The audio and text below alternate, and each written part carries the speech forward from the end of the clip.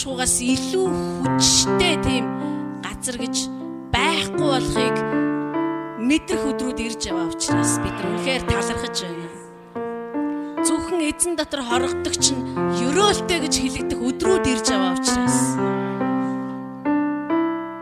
зөвхөн таны дотор л аюулгүй гэдгийг мэдэх өдрүүд ирж байгаа учраас та хаана оршин тэр газар аюулгүй байх болно.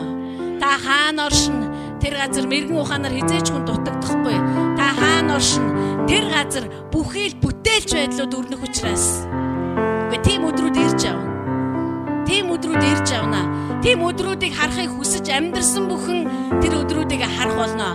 Тийм учраас өнөөдөр Бурхан хотын сүмийн хүн нэг бүр тандаж намайг хар зөвхөн намайг л хар анхаарлаа битээ өөр зүйлүүд дээр тавь битээ эргэн тойрох нөхцлүүд дээр анхаар үнэхээр болохгүй байгаа зүйл дээр битгий хараа намайг хар яагаад гэвэл миний хүч хязгаартай биш ээ намайг хараа эцгийг хараа миний ажлуудыг хараа миний үгэнд итгээ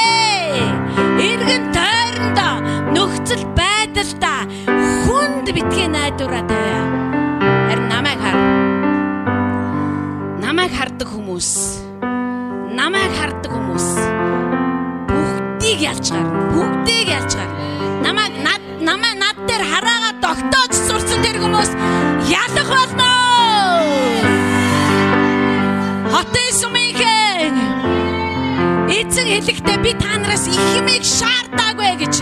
Би та нараас их зүйлийг шаардаагүй. Би та нараас дэндүү хэцүү юм нэхээгүй гэж тэр хэлж байна. Зүгээр намайг хар. Над руу харсан хിവэрээ л бай.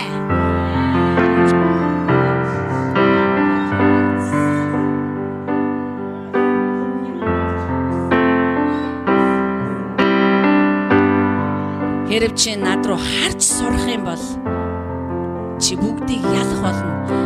тэгвэл би энэ үеийг хотын сүмийнхэнд өгсөн юм аа. Хотын сүмд хамааралтай болгон зөвхөн өнөөдөр байгаа хүмүүс биш. Ирэх өдрүүдэд ирэх хүмүүст хүртэл миний намлалт хүчин төгөлдөр ажиллах болно. Ганцхан намайг хар. Өөр юу ч тий хар. Өөр юу ч тий хар. Яа тэгвэл тэнгэр газар хүртэл урсаж өнгөрнө. Харин би өөрөө алга болохгүй. Байх болно. Би өчигдөрч байсан. Би өнөөдөрч байна. Би мөнхөд байх болно. Тийм учраас намайг хараа гэж тэр хэлж байна. Намайг хар. Намайг хар. Халелуя. Тийм ээ аваа. Та зааж өгөөрэй. Ариун сүнс та зааж өгөөрэй. Бидний докторгүй харцыг яавал тань дээр доктор сурах вэ? Бидний докторгүй оюун бодлыг яавал таны юмс дээр төвлөрүүлж сурах вэ? Бид нар яавал энэ докторгүй сэтгэлийг докторгүй сэтгэлийн хөдөлгөөнийг яг тань дээр төвлөрүүл сурах бай. Ариун сүнс та бидэнд зааж өгөх учраас бид нар үнэхээр баяртай байна.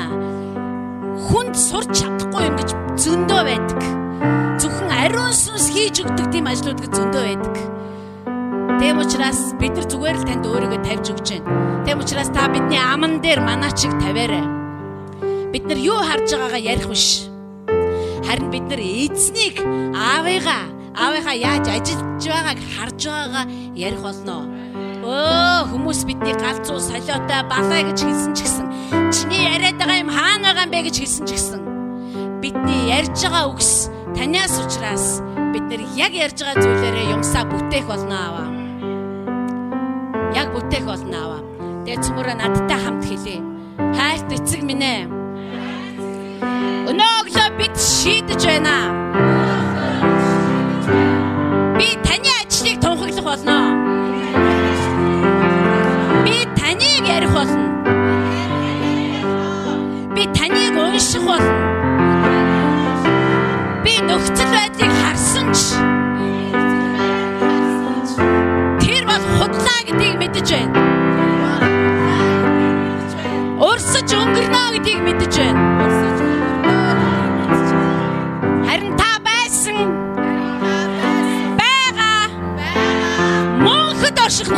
Орших нэгэн. Халелуя. мөртлөө итгэсэн хүмүүс өрөөлтэй. Халелуя, халелуя, халелуя. Халелуя! Халелуя, халелуя, халелуя. Халелуя! Халелуя. Өнөөдөр бид нар зүгээр нэг аваа миний амьдрал ингэж байна. Одоо нэг ингэж нэг арга чарга бодооч ээ гэх биш. Харин бид нар зүгээр л тунхаг ярих хэвээр. Үгүй ээ ийм байх болно. Тэгээ ийм болно угаасаа. Би итгэж байна. Сүнс чи итгэж байгаа заа юу санаа зовлтгүй битээ сүнсэн санаа зов. Сэтгэл оюундаа хэл. Үгүй ээ. Итгэхгүй байна. Чи хар л да. Чи хар амьдралаа хар. Чи эргэн тойрны хар. Юу бүтэж байгаа юм? Өө зүгээр бүх юм бүтэхгүй байна гэдэг чинь нэг юм бүтэх гээд байгааг шинж тэмдэг. Та нарт нэг ийм тал дээр айгүй зөрүүд байж сурна шүү. Би та нарыг зөрүүд болж байгаа гэж бодож байгаа.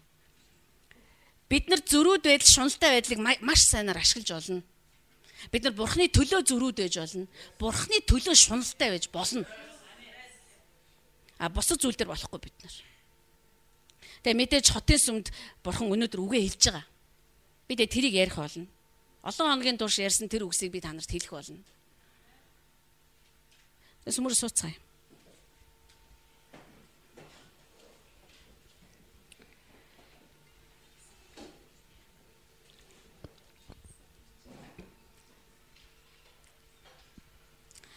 Би та нарт гэрте очиод ийм юм ишлүүдийг уншаарай гэд өгж байгаа тийм ээ.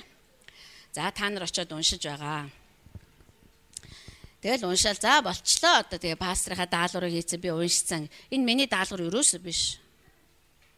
Яг л даалгавар өгсөн бол шалах хэвээр дүн тавих хэвээр тийм үү? Би зүгээр та нарт тэрийг уншаарай гэж өгдөг нь тэр ишлүүд таныг юу руу гүтлэх болдоо гэдэг чинь сонирн байгаад байгаа. Тэр ишлүүд тэр өгж байгаа бүлгүүд чинь та уншиж хахад ариун сүнс таныг дагуулад нэг юм руу авчих хэрэгтэй байхгүй юу?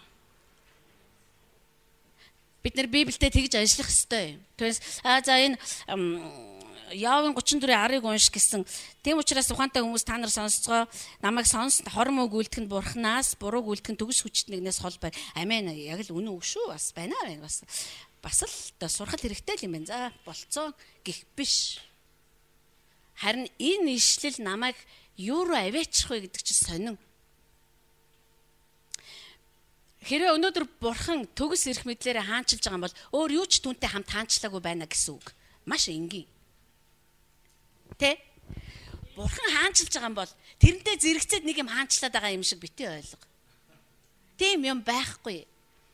Бурхан тэгэл За гайгүй яг сатан чи тэнтэй хаанчилж л би эндээ хаанчлыг гэхгүй. Хэрэг тэр хаанчлаа тунхаглаад ажлаа хаанчл захирдаг ажлаа хийгээд эхэлсэн бол сатан тэнцээ хүлээстэй болцсон л гэсэн үг байхгүй юу?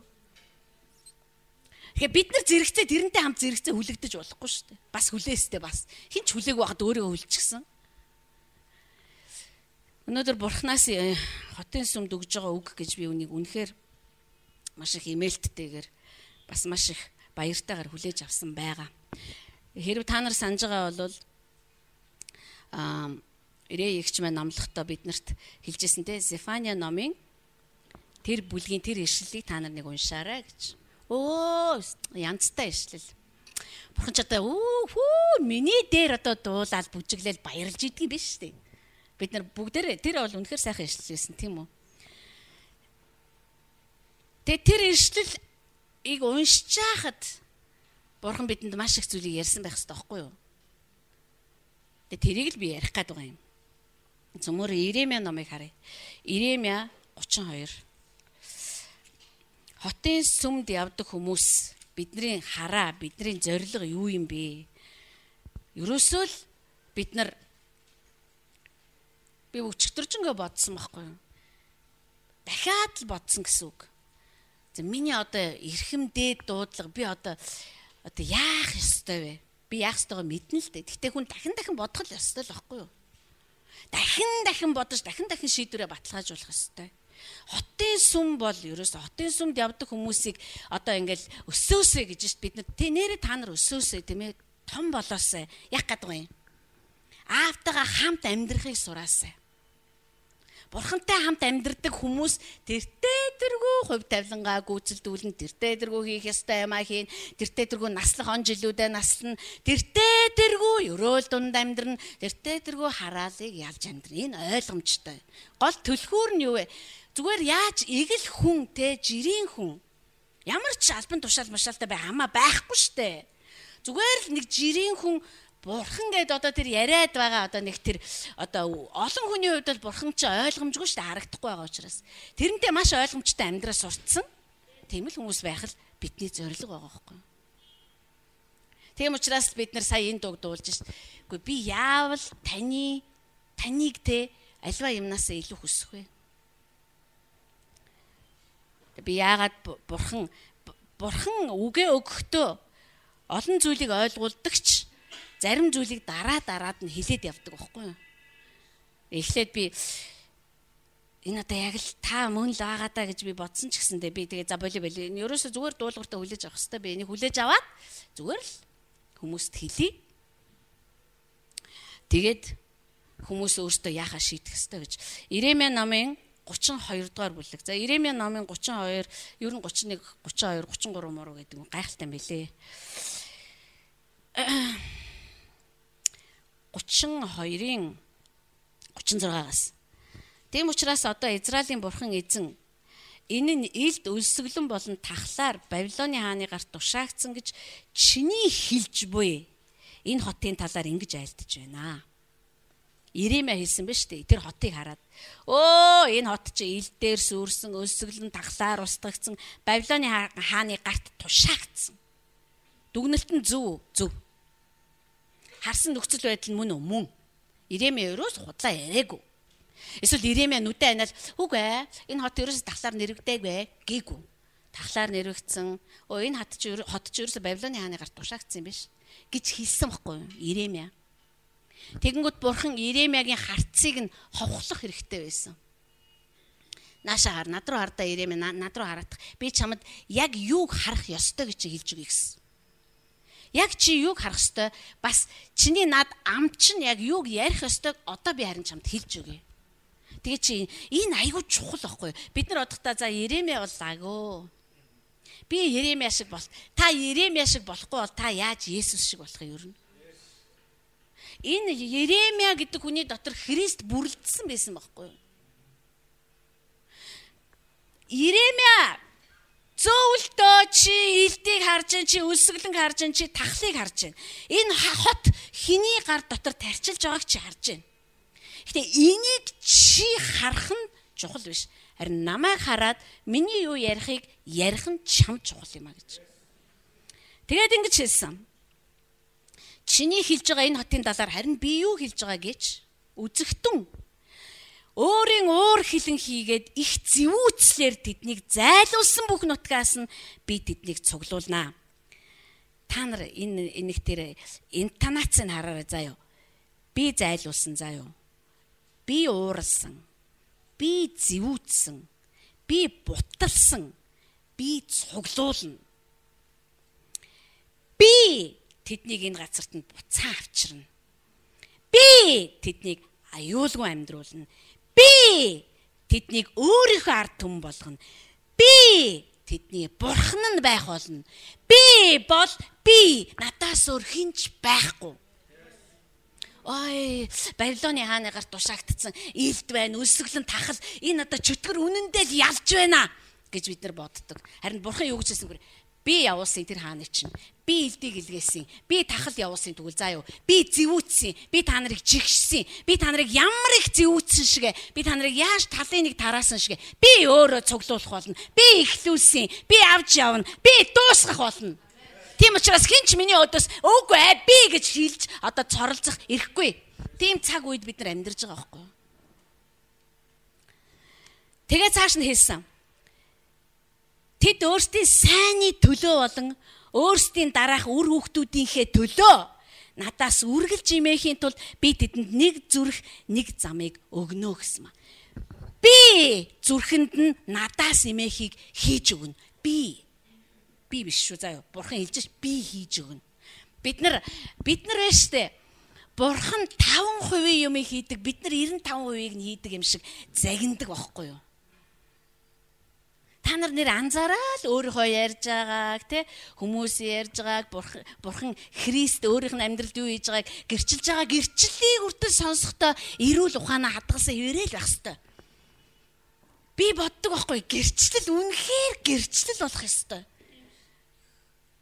Тэр миний амьдралд ингэж хийсэн. Тэр миний зүрхэнд энийг суулгаж өгсөн. Тэр намайг ингэж авч явсан. Тэр намайг ингэж эхлүүлсэн. Тэр намайг цааш нь авч явах учраас би тэрний хийсэн ажил миний амьдрал дуусна гэдэгт итгэдэг. Гингүү та нар өө за за миний хийх ажил огт байхгүй мэн гэж гівтэж болохгүй. Бид нар яв гэсэн газарт нь явах хэвээр. Суу гэвэл бид нар суух хэвээр.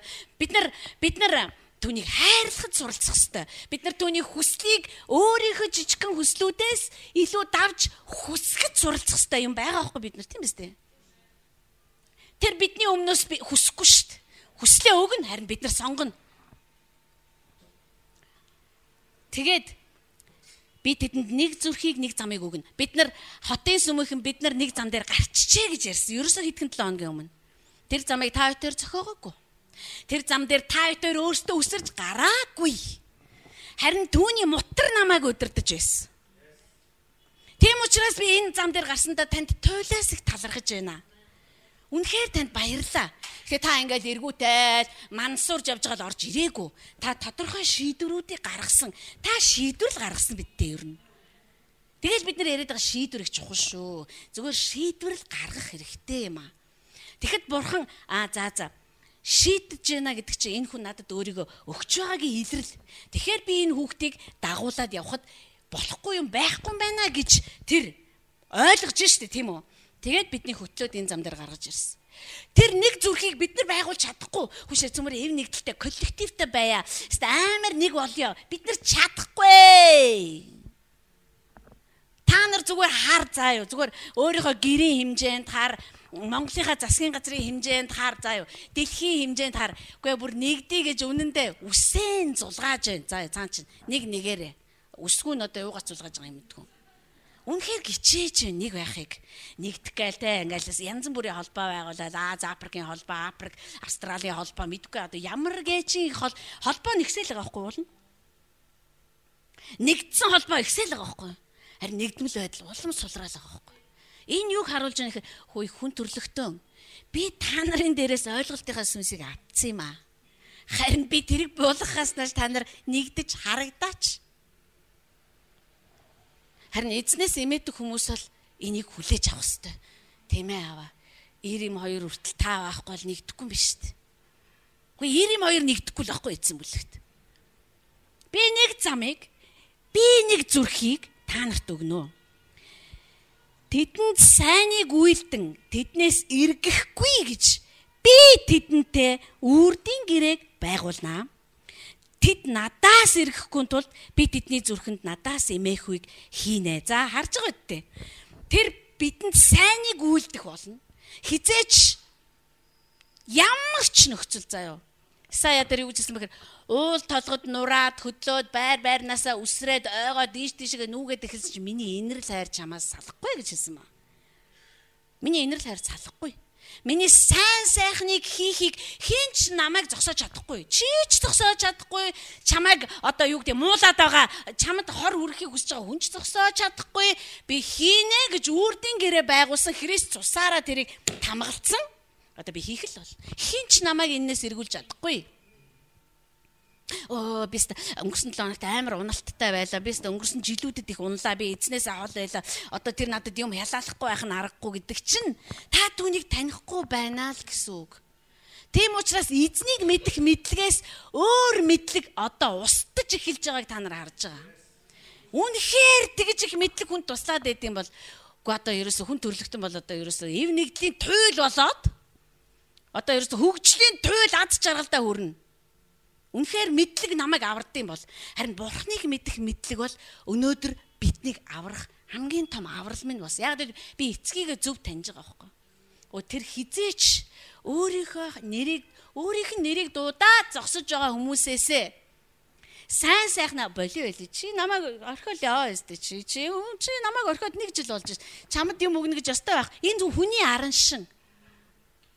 Тэгээ бурхан хэрэг хүн шиг юм бол яахын тэрэнд итгэж. Үгүй тийм биз дээ. Хэрэггүй шүү дээ тэрэнд итгэж. Харин бурхан чухам бурхан учраас л бид нар тийм ээ тэр үнэхээр бурхан юмдаа харахгүй л бурхан юмдаа гэж бид нар итгэсэн учраас түүний нэр дээр хамтдаа цугладаг байхгүй юу? Би өөртөө гэрээгээ байгуулах болно. Тэгээд хамгийн гол нь заа юу? Бид нар мундагтаа нэг тэрнээс эргэхгүй дагаад байгаа юм биш. Эсвэл би ухраас би би би ч одоо төрөлхийн айгүй юм шүү. Би айгүй олон хүний гэрчлэлийг сонсч ирсэн байхгүй юу? Гэхдээ би угаасаа төрөлхийн нэг тийм шаргуу зантай байхгүй юу? Төрлөх хүн чинь үхсэн байх хэрэгтэй байхгүй юу? Бурх Христэд итгэнэ гэдэг бол Христтэй хамт үхээ дахин амьлуулагдахыг хилдэгий. Түүнээс ш муужраад Тэгээд Христ ингээд нэг тийм одоо ингээд ухаан алдсан хүнд нэг амар муухай юм үнэртүүлээд гэж сэргээд тэгээд төрөлхийн шургуу цангаараа тэрийг дагж байгаа юм биш. Би ингээд төрөлхийн айгуу тийм эцэг ихээ хүндэлдэг байхгүй. Яг ясман дээр төрөлхийн эцэг ихээ хүндэлдэг байдал чинь хүртэл бурхны хүсэл биш. Тэр угаасаа төрлөх хүнийг үхээсэ гэж хүсдэг байхгүй. Үгүй та нар боддоо Христ төрөлхийн сайн байсан ш. Христ төрхтөөч мундаг байсан тэр хүүхэд байхдаа ч өста өөсөвгүй байсан том эр хүн болцсон хойнооч өөсөвгүй байсан тэр төрөлхийнгээ яриул зөндөө ярих байсан байхгүй гисэн ч гэсэн тэр эцгийн өдөрдмжин дотор ажиллахыг л сурсан шүү дээ. Тэгвэл бид нар одоо хэм бэ? Би танд бурхныг таньж мэдэх чинь тусалж байгаа байхгүй юу? Бурхныг бид нар зөв мэдэх мэдлэг нь биднийг аварна. Та нар одоо ингээл зурх нүрт үзээд яана ямар аймаар баг заримдаа залбирж байгаа. Бар заримдаа унтахгүй байгаа. Бурхан минь ямар аймаар юм бэ? Бид нар дээр тийм аюул ирүүл яана яасан аймаар юм бэ? Бурхан минь хамгаалж л үзээрэй та ерөөсө хамгаалж л үзээрэй. Хэрэг бид нар түүнийг мэдх юм бол бид нар тэр тэргүй түүний дотор байгаагаа мэдэж эхэлнэ. Яа тэгэл тэр биднийг нэг зам дээр гаргасан тийм биз? Тэр бидэнд нэг зүрхийг өгсөн тийм үү?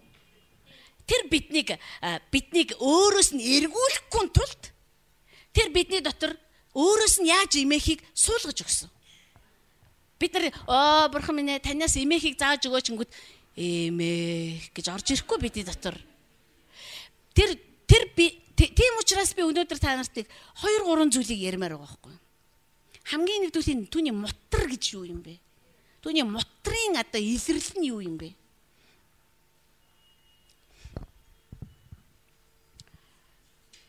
Тэд надаас ирэхгүй бол би тэдний зүрхэнд надаас имэхүүг хийнэ. Би тэдэнд сайныг үйлдэхээр тэдэнд баярлан баясаж бүх зүрх болон бүх сэтгэлээрээ тэднийг энэ нутагт итгэлтэйгээр тарьж суулгана. За одоо энээс илүү одоо 300% бүрэн итгэлтэй үг гэж алга байна.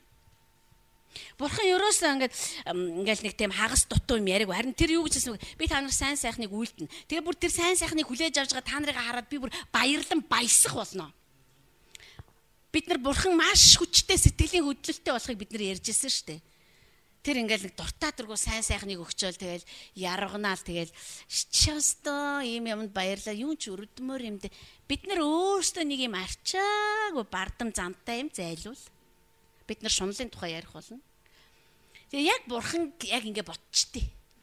Яг ингэ нохоонд юм хайж байгаа юм шиг хайцсан. Нөгөөд нь тэнд баярлаа л гэдэг. Эцэг нь тэндээс шчөөстөө бас баярлж чижээ өнөг чинь Яана ивэ юм үзээгүй чааваас энийг амтаа.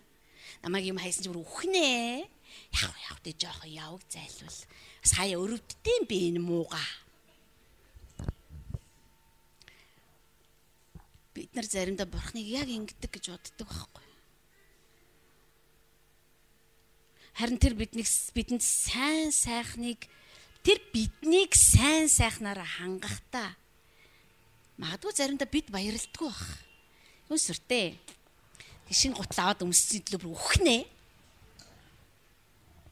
Бид нар штэ хараага түн рүү хандуулаагүй тохиолдолд бид нар юунч баярлахаа болж эхэлдэг байхгүй юу?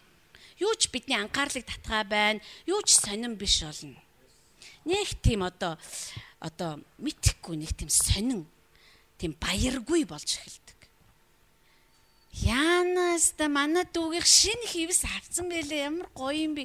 Сүртэй өөрхийн амьд хевс үзэг аргагүй аргагүй бас тий өөрхий зайлвал амар ядуу штэ чаавас Бурхан яагаад баярлдаг вэ гэхээр яг вэ тэр хевс ээж олон тэр эсвэл таны хувьд нэг тийм үнэтэй биш ч гэж болно. Гэтэ хүн тэрийг харангуудаа яагаад ч юм өөрөө эцгээ боддог байхгүй юу? Миний эцэг ажиллаа хийж байгаа да. Миний эцэг ажиллаа хийж байгаа. Тэгээд энэ хүмүүст өөрийнхөө хайр халамжийг үзүүлж байна гэж одоос цаанаасаа ингээл өө яг үнэ миний бурхан ч одоо хаанчилж байгаа цаг шүү дээ. Тэгэхээр ийм юм болох нь аргагүй. Та ийм ололтуудыг жижигэн жижигэн ололтуудыг айгүй харахтаа соргог болж эхэлнэ. Айгүй соргог болно. Танд ингээл сайн мэдээнүүд айгүй түргэн түргэн ирнэ. Харж байгаарай. Бурхан те баярл өөрөө баярлж байхдаа хүүхдүүдэд баярлуулахаа мэднэ. Яагаад надад ерөөсөө сайн мэдээ сонсогддгүй болоо гэж та бодож ивэл та айгүй буруу юм айгүй хардаг байхгүй. Юу? буруу ч байх те бодит юм дээр л их харж ийн л гэсэн үг байхгүй. Болохгүй байна бүтэхгүй байна ингэхгүй байна тэгэхгүй байна бурхан надад тэгж заагаагүй тэгж сургаагүй. Надад мэдхгүй те ямар нэгэн сайн сайхны илрэл үзэгдэхэд би ухаангүй баярлдаг. Энэ олон жижигхэн сайн сайхан биднийг маш том сайн сайхан л авээчин а та тэг баярлдаггүй бай л да яасан ч баярлдаггүй хүн эдгэрсэн ч юм сүртэн Угаасаа би байсан бол аль хэзээ идгэрх байсан. Арчаагүйдэл тэр ахгүй юу? Эсвэл одоо те хин нэгэн хүн сургуульд орё гэж бодъё. Сүртэн. Ер нь бол сургууль хэрэггүй шүү дээ. Эзэнийг мэдэх мэдлэг байх хаваачт. Юроос юмд баярлахгүй. Гэхдээ айгүй жижиг юм. Хүүхд нь он цаваад ирсэн. За юу сүртэн чи өчнөө хоёр авч авчаад ганц он цавсан. Үхнээ бүр. Нөхөр минь чи ер нь энэ маягаараа ичих хэрэгтэй шүү чи баярлж мэдхгүй аюу хэцүү ингээд одоо ингээд төсөөлөх юм бол энэ дотор нь зөндөө их халгаа орцсон юм шиг тэгэл халгаан дотроос нь шатаагаа тамлаад байгаа ч юм шиг. Энэ нэршлэл биднэрт өөрийг минь ч харуулах хэвээр бас түүнийг танихад ч бидэнд үнэхээр туслах хэвээр. Мэдхгүй би ирж байгаа бүх сайн сайхан эцгээс ирдэг гэж итгэдэг байхгүй. Ирж байгаа бүх сайн сайхан. Тэн дотор мэдээж аймаар аймаар ажиллагаанууд ч бас ордъё. Тэгээ зүгээр бүгдээрээ сайн. Яа тэгвэл мутар ажиллаж байгаа учраас. Мутрын тухай бид нар ярина. Бүх зүрх болон бүх сэтгэлээрээ одоо бүр тийм үнэхээр одоо бүр итгэлтэйгээр сэтгэл дотор чи юу юу ордог вэ та нар мэдж байгаа ш. Учир нь эзэн ингэж айлдаж байна. Би энэ ард түмэн дээр эдгээр бүх агуу гамшгуудыг авчирсантай адил түүнчлэн би тэдэнд амлаж байгаа бүх сайныг тэдэн дээр авчрах гэж байна. Чиний дахиад Иремя хэлж шв. Энэ нь хүн амтангуу зилүүд газар. За Иремя их хурц хараатай юм байна. Энэ нь халдайчуудын гарт тушаагдчихэ гэж хэлж байгаа энэ нутагт харин би яах вэ гэхээр талбайнуудыг хүмүүс худалдаж авах болно. Хүмүүс мөнгөөр талбайнуудыг худалдаж аваад гарын үсгээ зураад баримтуудаа битүүмжлээд Беньямины нутагт Иерусалимийн орчимд Юдагийн хотуудад уулахыг нутгийн хотуудад намдор газрын хотуудад болон Нигевийн хотуудад гэрчүүдийг дуудана. Учир нь би англи орчуулгыг харах юм бол тэдний нүднийх нь өмнө сайн сайхны сэргэнэ гэж эзэн тунхаглаж байна. Бурхан бидний хүн нэг бүрт түүний өмнө суухт нь ийм мэтийн үгээ өгөөсэй. Тэ? Зүгээр ингэж хэл. Зүгээр л чи хэл. Бурхан биднээс хэл гэсэн болохоос хий гээгүй байхгүй. Бид нар хийж чадахгүй энийг. Харин тэр зүгээр хилээ гэсэн. Иремяг Иремягийн хийх ажил биш шүү дээ. Ингээл хүмүүсийн нүднийх нь өмнө сайн сайхны сэргээгээл те Иремя тэр гамшиг авцраагүй. А Еремя тэдэнд сайн сайхны сэргийж чадахгүй. Еремя тэр хоосроод бүр юу ч урахаа байцсан цүл шиг болсон газрыг Еремя зарч чадахгүй яаж ч рекламдаад. Еремя харин хэлж чадна. Үгүй ээ угаасаа наа чи айгу ашиггүй газраа наа чи байшин орон сууц мууц бариад ашиггүй аахгүй юу. Одоо хамгийн ашигтай газар чинь 100 айлын хавийн газар гэж штэ. Манай энэ газар бол ашиггүй аахгүй юу. Еремя яг иймэрхүү юм ярьсан л байхгүй юу. Харин бурхан түнд юу гэж хэлсэн бэ? За тийм байна. Чи тэгж харсан юм. Харин би ингэж харж байна. Чи миний харж байгааг хараад миний хэлж байгааг хэлээд өгвөл би туйлаас баярлах байна. Тэгчих юм бол энэ үг биелээ олох гээд байна. Та амьдрал дээрээ юуг ярин заяо. Та хүмүүст өөрийгөө яаж ярина? Яг тэрүүгээрээ хүртэж авдаг тийм л цаг руу орчлоо л да бид нар яа харах байхгүй. Үгүй би тийм цаг руу ормооргүй байна гэх боломжгүй юм. Өнөөдөр ямар цаг вэ гэхээр эцсийн цаг. Одоо энтэй хинч марахгүй. Та нар одоо юу ч үтсэн тэнд дандаа ямар нэгэн тийм нэг одоо нэг юмыг хайгаад байгаагийн илэрлийг олж харж болно. Хошин шогч байсан ч нэг юмыг л хайгаад л байна. Хайж байгаа арга барилд болох бүдүүлэг болохоос биш. Кино үзсэн ч гэл одоо юу хурал хийжсэн ч гэл нэг юмыг хайгаастай. Өнөөдөр эцсийн цаг учраас та нарыг юу ч аварч чадахгүй гэдгийг бурхан харуулж. Хичнээн алдар хүндтэй байлаач алдар хүнд чинь чамайг аварч чадахгүй. Чи хичнээн их хөрөнгөтэй байсан ч хөрөнгө чинь чамайг аварч чадахгүй. Өчнөө сая жива хөрөнгөтэй байгаа өчнөө олон орд тааштай байсан чи өөрөө өөрийгөө аварч чадахгүй гайхалтай жишээ бол Майкл Джексон. Өөрийгөө аварч чадаагүй. Хин ч тэрнийг амьлуулж чадаагүй. Бурхан амьлуулахгүй гэсэн байна.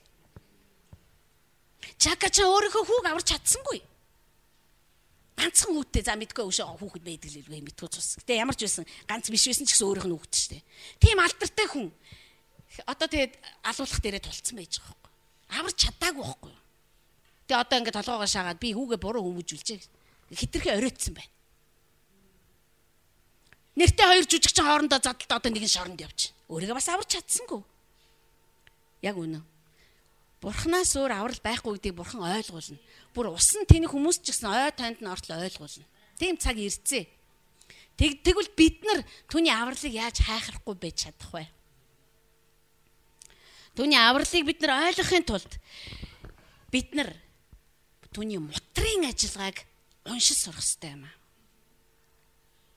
Бид нар ярьдаг ш. Библиэлд Бурхны мутар хаасаагүй ажилдаг тухай ярьдаг. Би энэ та нар ишлүүдээ өөртөө ол. Одоо эрхээ биш том болж байгаа хүмүүс Библийн хайвал ол. Энэ ном дотор л байгаа. Энээс өөр гадуур юуроос байхгүй. Энэ дотор байгаа. За юу. Хамгийн нэгдүгээр бурхан хүний дээрээс мутраараа дарж ажилдаг гэсэн маа. Таны мутар намайг хүн дээр дарж байна. Би яолж байна. Эзний мутар Израильчуудын дээрээс хүн дээр дарж бүгд эзэн лөө авралыг ирэн хашгирлаа гэдэг. Тэгэхээр мутар хүний дээрээс хүн дээр дардаг байх нь үндэсний дээрээс дарддаг байх нь байна. Хүний дээрээс дарддаг гэдэг нь энэ одоо бурхан ч намайг шийтгэж байна гэсэн үг биш. Ер нь би боддог аахгүй. Бурхан бол эцэг гэж ойлгох юм бол түүний шийтгэлүүдийг бид нэр сахилга бат гэж ойлгох хэрэгтэй. Сахилгажуулалт гэж ойлгох хэрэгтэй байхгүй. Тэр намайг сахилгажуулж байна. Хараа биднийг дарж байна гэдэг чинь бид нар дарамтыг эсэргүүцэж гарч чадах хэмжээний хүчтэй болсон байх нь маш олон шалтгаан бий. Тэр биднийг мутраараа дарж яхад надад одоо нөлөөлж байгаа миний зүрхэнд хийгдэж байгаа ажлууд нь маш олон төрөл байдаг. Тэр зүгээр л намайг бас чамаа бяцлаад алчи гэж дараагүй. Утга учиргүйгээр тэр дардаггүй. Тэгээ Рэй их хэлжсэн шүү дээ. Түүний мутар дардагч няцалдаггүй гэж. Яав юу гэж уйсан бэхээр та зүгээр няцалчдаг болоосаа намайг ялаа шиг гэж хэлж илээ шүү дээ. Яавыг та нартай үргэлжлүүлээ уншаа байлгүүдээ гэртээ. Тэгээд Бурхны мотор бидний дээрээс дарахад бид нар улам хүчтэй болж идэг. Улам альва дарамт одоо дээрээс дарж ирж байгаа дарамт байгаа шүү. Жин. Жин гэдэг утгаараа бид нар тэрийг давж гарч ирдэг. Нөө үлбээсэн юм одоо тийм нэг могоо шиг ясгүй байдал маань арилдаг байна. Бихчиж эхэлдэг байх нь шүү дээ. Тийм гатуурж эхэлдэг байх нь. Мотор дарах нь сайн. Бас нэг ажиллагаа нь бидний доторх юмсыг шахаж гаргадаг. Ингээл дарамт орж ир дарамт жин хүнд жингээр дарамт бууж ирж штэ. Тэгэхэд бүлтрэх ёстой идэ бэрүүд бүлтэрж гарч одоо бидний дотроос элдв исэн хэрэггүй юмуд нь гарч ирнэ гэсэн. Бас нэг юм ажиллагаа хийгддэг. Бидний дээрээс дарахад. Түүний мутар Давид бол хардаг байсан байхгүй яг яг одоо энэ мөчд энэ уйлралд бурхны мутар намайг хүн дээр дарж байгаа юм байна гэдэг тэр мэддэг байсан байхгүй. Яг тийм үедээ Давид дуулаад бүжиглээд байгаагүй харин тэр яолж исэн. Тэр уйлж исэн. Тэр тэгсэн ч гэсэн та намайг өөрлөгөө л улам ихээр татаарай гэж исэн. А бид нар болохоор зэрэг жоохон бидний дээр нэг жин өгөөтхөөр зэрэг оо ёо ёо ёо өглөө би ч нэ бурхан минь авраач али энэ бузар сүнсний тэр бузар сүнсний ажиллагаа эзний мутар байлаа. Зайл бид нар эзний мотрыг чи Есүсийн нэрээр зайлмайл гэж орилоод эхэлдэг байхгүй юу? Яад бид нар таньдгүй. Бид нар бид нар ер нь айгүй бид нар ер нь айгүй нялхарцсан байна. Энэ аргагүй 21 дугаар зууны хүмүүс тэр чигээрээ. Их нялхамсаг нэг тийм хачин улцайсан тэгэл нэг тийм хачин 8 алчиг нэг тийм далайн ялцгаа битэн шиг л болцсон байгаа даа. Нэг жоохон хүргээр зэрэг ёо ёо ёо ёо эзэн минь юунд намайг ингэ заа. Ээ ёо ёо ёо ёо гэж орилоод эхлэхэр чи бурхан за за энэ надад өөрийгөө өгч чадах чадваргүй мэн. Би одоо ингээ айгүй бол ингээ жоохон ингээ жин дотор байлгачих юм бол энэ айгүй бол ёо шиг үхий хатыг орилоод нөх юм байна. А ёо бол тэнд ор байсан. Тэгээ тэрийг давж гарсан байхгүй юу?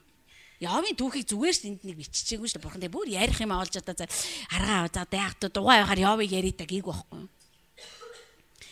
Бид нар бодохдоо бид нар нэг яов шиг болтлооч зовоод байсан ч юм алгал байна л да.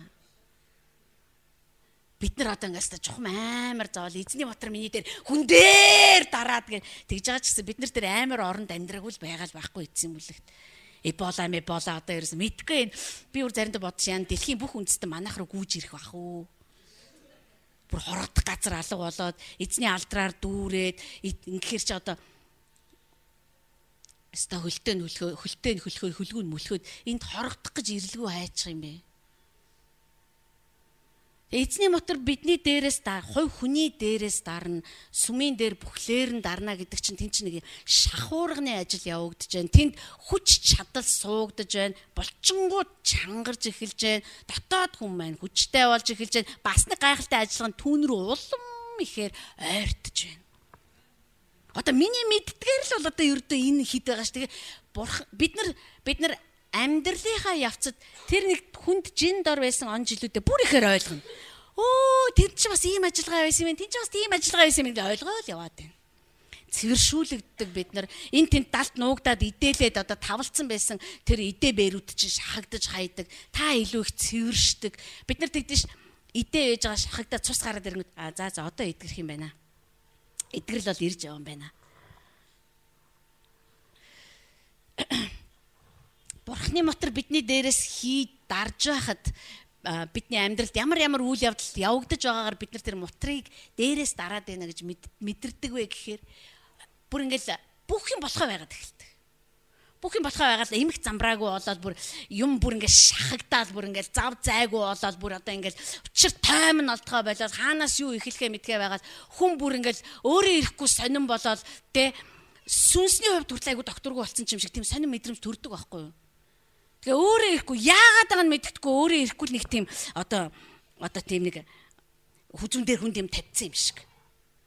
Баярлалаа ихнээ баярлж чадахгүй одоо тий айгүйх оролдноо нөгөөт чинь за боли боли одоо одоо ерөөс зүгээр эзэн дотор хүчтэй бай.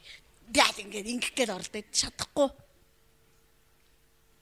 Би анх мэддэггүй байсан байхгүй тийм мэддэггүй тэгэл биста за за би ингээл одоо хүн итгэлээр унаал мажин гэж энийг л хэлдэм байх Тэгээ би бол одоо ингээл юу ч намайг сэргийж чадахгүйсэн байхгүй юу. Тэгээ айгүй олон аргаар үзэж байгаа ш нөгөөчөөс та магтан дуудуулж үзэж байгаа хилээр залбирж байгаа өөргөө амтан бас би өөрөө нэг юм хийчих гээл дижиж бас нэг сарвалцаал байж штэ. Гэтэл яг бурхны мотор намайг хүн дээр дарж байгаа үед за тэр л одоо ажиллагаагаа хийх байхгүй. Харин би яг зүгээр нь томоотой л байх хэрэгтэй байдаг айж буйжтэй за боли явъя. Ерөөс аура руу очи. Аура намайг аварж магад. Үгүй ерөөс шири шири ямар шанкара багш дээр очи. Би боддог байхгүй. Эзний мотор хүн дээр дарсны улмаас төвчээгүү маш олон хүмүүс төөрсөн. Яг л хүн өөрөө аяг итгэвтэй. Тэгээ өөрөө ямар нэг юм хийх хэрэгтэй гэж бодоод идэг.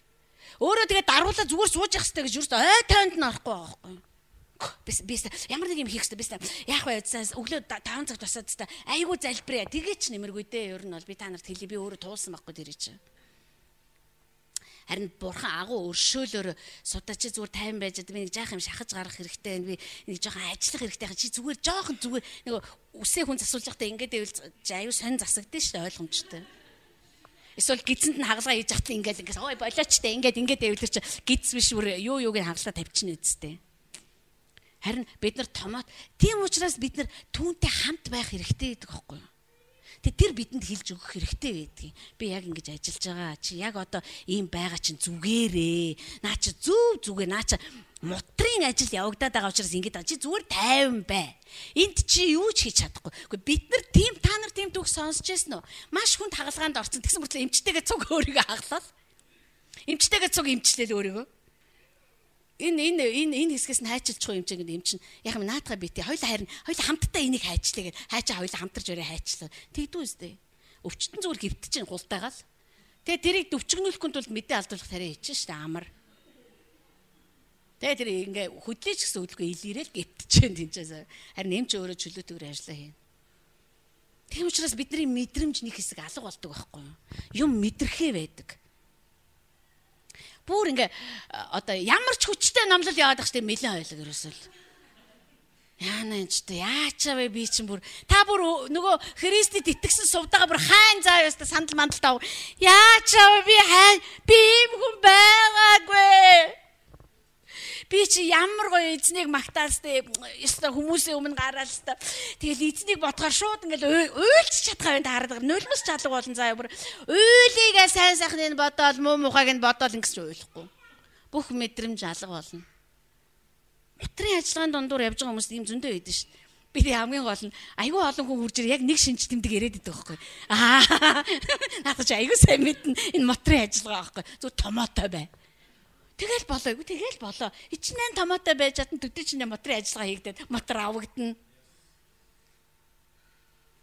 Исая дээр хэлэхдээ би хугархай зэгсийг хүртэл хуглаад алчихгүйгээ мэднэ гэсэн байгаа шүү. Хүн болгонд таарах жингээр нь тэр өөрийнхөө моторыг бидний дээр тавьд юм аа.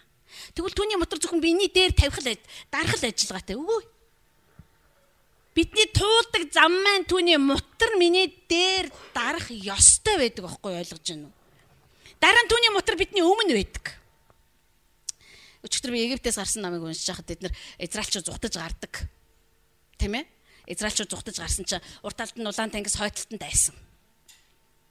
Тэгэнгүүт урт талд явж исэн тэнгэрэлт шууд хойно гарсан. Урт талд удирдах явж исэн эзэн өөрөө эзнийг төлөөлөөд үүл байсан. Үүл шууд хойдталд нь гарсан. Харанхгүйсэн дайснаас хамгаалсан. Бидний урд мотор байхад зүгээр л тэр ингээл бид нар ингээл салхи малхнаас хамгаалаад байх зориултаа биш. Зөвхөн тийм зориултаа биш. Тэр бидний замыг цэвэрлж өгнө. Тэр бидний өмнө яваад бидний тухай аль хэзээний тэнд очиод мэдүүлсэн байдаг. Рахаб тэр хоёр тагнуул ирдэг шүү дээ. Тэгэхдээ Рахаб тэр хоёр тагнуулчаас илүү эзний тухай ярьдаг ш. Оо танаа бурхан ч амар гинлээс улаан тэгсэг тэгсэн гэлээ тэрийг тэгсэн гэлээс бид нар ч бүр айгаад байхгүй байхгүй бидний зүрх ч бүр хайлтсан штэ. Одоо манай хаа маан парламент засгийн газар ерөнхий сайдтайгаа айгаад одоо бүр жичирж байгаа. Тэр чи юу гэж байгаа? Бидний өмнө эзний мотор байгааг илэрхийлдэг байхгүй юу? Бид нар тэгдэж оо яана одоос би нэг ажилд орохгүй гэсэн чи одоо очсон чи одоо яана? Тест айгу амар гэсээс нэр. Хүний нөөц нь айгу амар гэж хэлээс та амар гэсэн одоо айгу намайг авах гэсэн. Амар гэжээлээ гэл ингээд орох. Хүний нөөц чамайг яач чадахгүй? Мэдгүй ягаад ч юм тэгэл айгүй сайхан яриад чи гарахтаа гайхаад ямар сони юм бэ? Ямар яа би сталаг ярьсан байхаа ч гэх шиг магадгүй эзний мотор таны өмнө ажилласан байх. Ер нь бараг л тэрэндээ ер нь бол Бид нар эзний мотор миний өмнө явж ажиллаа хийнэ гэдгийг ямар болохыг төсөөлөх хэрэгтэй. Ялангуяа ирэх өдрүүдэд та танихгүй газар очиж амьдарчиж болно. Та танихгүй хүмүүсийн дунд ч очиж болно. Та хаанч очиж болно. Та байсан газар та байж ч болно. Та олон хүмүүстэй уулзаад олон янзын газрууд руу ч орж болно. Та засгийн газар руу ч орж болно. Та ерөнхийлөгч ингэрт ч орж магадгүй. Харин эзний мотор таны өмнө ажиллаа хийнэ гэдэг чинь ер нь тэгэл ер нь тэгэл юм жигдэрцээ л гэсэн үг. Зөвхөн миний өмнө эзэн мутраа ажиллаа хийгээд байгаа юм биш л те. Хувь хүнийхээ ач өмнө ажиллаа хийн тэр үндэстний өмнө ч гэсэн ажиллаа хийн. Оо Монгол одоостай одоо тэг зурагтаар бол уус амар одоостай тэг 40 тэрбумаар одоо төсөн тасалдцсан одоо тэгээд бүх сайдуудаа хаалаа халчихлаа одоо тэгээд ингээл ингээл ингээл ингээл энэ энэ зунгагийг бид нар зурах юм бол бидний халбаа хугарна. Харин эзнийг харах юм бол Эзэн дарах ёстой газараа дарна. Цэвэрлэх ёстой юм а цэвэрлэнэ. Харин түүний мутар энэ үндэсний өмнө ажиллаа хийж байгаа. Гэхдээ тэр Асими уулзалтыг одоо Монголд хийн гэхээр би бүр гайхаад байгаа байхгүй юу? Тэгээд Шинэ Зеланд, Австрали хоёр хоёр өрсөлдөөд тэр хоёрыг аваагүй байгаа байхгүй юу? Монголд хийя гэсэн байна. Монгол айгүй амар хөгжсөн юм хаашаа бөө мэд. Мутар өмнө яваад байна шүү. Мутар өмнө яваад байна ойлгож байна уу? Яагаад юм бөө мэд тэд нар тэгэл тэгээ тэгээ Улаанбаатарт яана би бүр ээ бурхан миний 16 он гэхэд Улаанбаатар жоохон гайгүй байгаасаа л гэж бодлоо. Хөргийн минь чардаатлаа зүтгэл хөгжөөл байна л та. Гэхдээ л бас аюух юм дутуу байгаа шүү дээ бурхан минь. Тэгээ тэр сая яаж хат Миланд болчдөг. Айгуу гоё хот. Чи манайх ч одоо юусан бэлээ?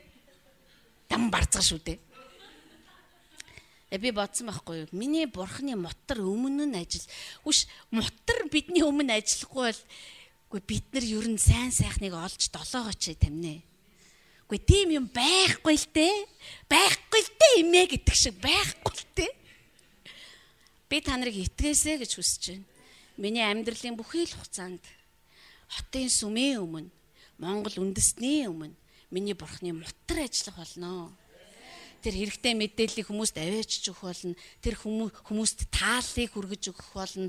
Тэр зөвхөн бидний хамгаалахын тулд биш шүү дээ. Бурхан ч тэгэл нэг тийм амар хамгаалах ажилтай тэгэл та. Нааша нааша али буудулчин. Нааша нааша али халдвар төвчин тусчин. Нааша нааша хүн цогчин. Тийм балай бурхан биш байхгүй юу? бидний замыг тэгшилж гэн бүдэрчих вэ, ооччих вэ, те энэ нөхрөө унчих вэ, хотгор газрыг тэгшгэн болгож гэн, гүдгэр газрыг бас тэгшгэн болгож гэн тийм ажил хийж байгаа гэж уншия. Зөмөрөө. Одоо түрүү унших тухай ярьсан ш.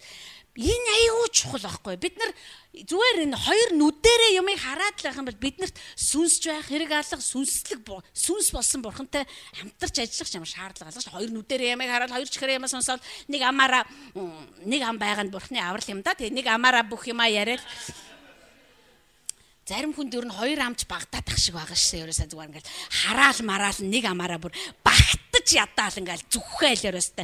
Эста эста болдог бол ингээ буудчмаар байгаа аахгүй ёо гэл ингээл. Бид нар энэ үндэстний ирээдүйд үнэхээр итгэдэг хүмүүс. Мэдхгүй мэдхгүй бишээ бидэнд нэг юм үг байдаг учраас бид нэр итгэдэг байхгүй. Я бурхны үг бурхан хоёр өөр салшгүй юм. Тэр бол улс төрч биш ш. Ингээл худлаа яриад тэгэл ингээд амар нэг худлаа яриад бүр ичиж бичгээ байхыг бас зэрэгцээ сурцсан байгаа байхгүй. Худлаа ярьж байгаа ярианаас ичихгүй байх, худлаа ярьж байхдаа зүрхээ яаж барих вэ? Худлаа ярьдаг машинаар хэмцсэн ч одоо тэр юм ингэж гүхгүй баха. Яг үнэ тэд нэр худалдаа тэгтлээ үнэмшсэн байгаа байхгүй. А бурхан бол тийм биш л те. Бурханы мөн чанар нь тийм биш байхгүй. Тэгэхээр бурханы мотор таны өмнө явна гэдэг чинь та та юунд ч тарахгүй гэсэн үг шүү юу. Та ингээл ёо бис ингээл итгэлээрээ урагшлах гэж та амар явсан штэ би амар итгэлээр ингээл юмсыг цөм цөм цохиол ингээл явсан штэ ста амар гэл бид нар ярьдаг байхгүй юу. Тийм гэрчил зөндөө идэв штэ. Та яаж одоо ийм агуу ихтгэлд хүрсмэг оо бис ингээл залбирлаараа л ер нь юмыг цөмөлсөндөө ингээл цөмлөөл цөмлөөл ингээл ялаа миний сая иглэр нэг тийм нүдний булаатай гэрчил явсан ш. Бис ингээл би ер нь бол залбирал библи хоёроос салаагүй дээ. Ер нь бол тэгэл тэгэл ингээд залбираал ингээд асуудлууд ингээд яг ингээд амар нурж байгаа шууд надад мэдрэгтэй л ингээд ингээд Гэхдээ мэдээж залбирал библи хоёр биднийх мөө. Бид нэр ингэж хийх ч ёстой. Тэгээ түүний мотор урт талд минь ажиллахгүй аваасан. Бид нар юунд ч хүрэхгүй. Нэрэш Би худлаа яриаггүй би ярихчгүй. Худлаа ярьдаг пасттай бол бурхан бушуухан авахыг бодно шүү дээ. Хүмүүсийг минь мунхруулж ингээд. Би өстө залбираад авсан шүү дээ. Би өстө мацг бариад гисэн шүү дээ. Тэртээ нэгэн цагт өргий хөөрхөн ангахаа шиг ахта тэгдэг байлаа. Харин өнөөдөр бид нар тэгж ярьж ерөөсөө болохгүй. Бид нар шунлын тухай ярихдаа энэ тухай ярих болно тэрний мотор миний өмнө ажилдаг учраас би харин зөрөгтэйгээр урагшилдаг байсан. Тийм биз дээ. Бид нар ингээд урталт хана байгаад байгаа байхгүй юу? Гэтэ бид нар итгэж जैन те. Оо миний аавын моторын дэргэд энэ юу юм бэ? Эцсийн бүлэгтээ би алхсан байхгүй юу? Яа миний эцэг тэрийг нураагаал өгсөн. Би харин зөрөгтэй алхах. Бурхан нураагаал гэдэг хинч алхахгүй бол ямар вэ? Нураагаал идэг мотор нь яваал идэг. Тэстээр өөрийгөө хинбэ гэдгийг харуулаад идэг гэтэл нөгөө нөгөө хүн нь өөрийгөө хинбэ гэдгийг харуулж чадхаа байсан байвал ямар вэ? Тэнт бидний оролцоо байгаа байхгүй. Тийм учраас бидний залбирал эцгийн хөдөлгөөнтэй жигд байх хэвээр. Хөө би даван юу чамайг. Хүүш би чамаа зүгээр өөлхөн даван заа. Исая дээр өгсөн амлалт тийм ш ийм газар байх юм бол би дүүргэж өгнө. ийм газар байх юм бол би тэгшилж өгнө гэсэн байна. Чамайг эсэргүүцээ зогсож байгаа моднууд яах вэ? Хоёр тишгээ ярагдаад аа алхаад ээ бидний дундуур гараараа давтай марилгтон гэж хэлэх болно гэж хэлсэн шүү дээ. Мутар өмнө ажиллаж байгаа учраас аахгүй юу?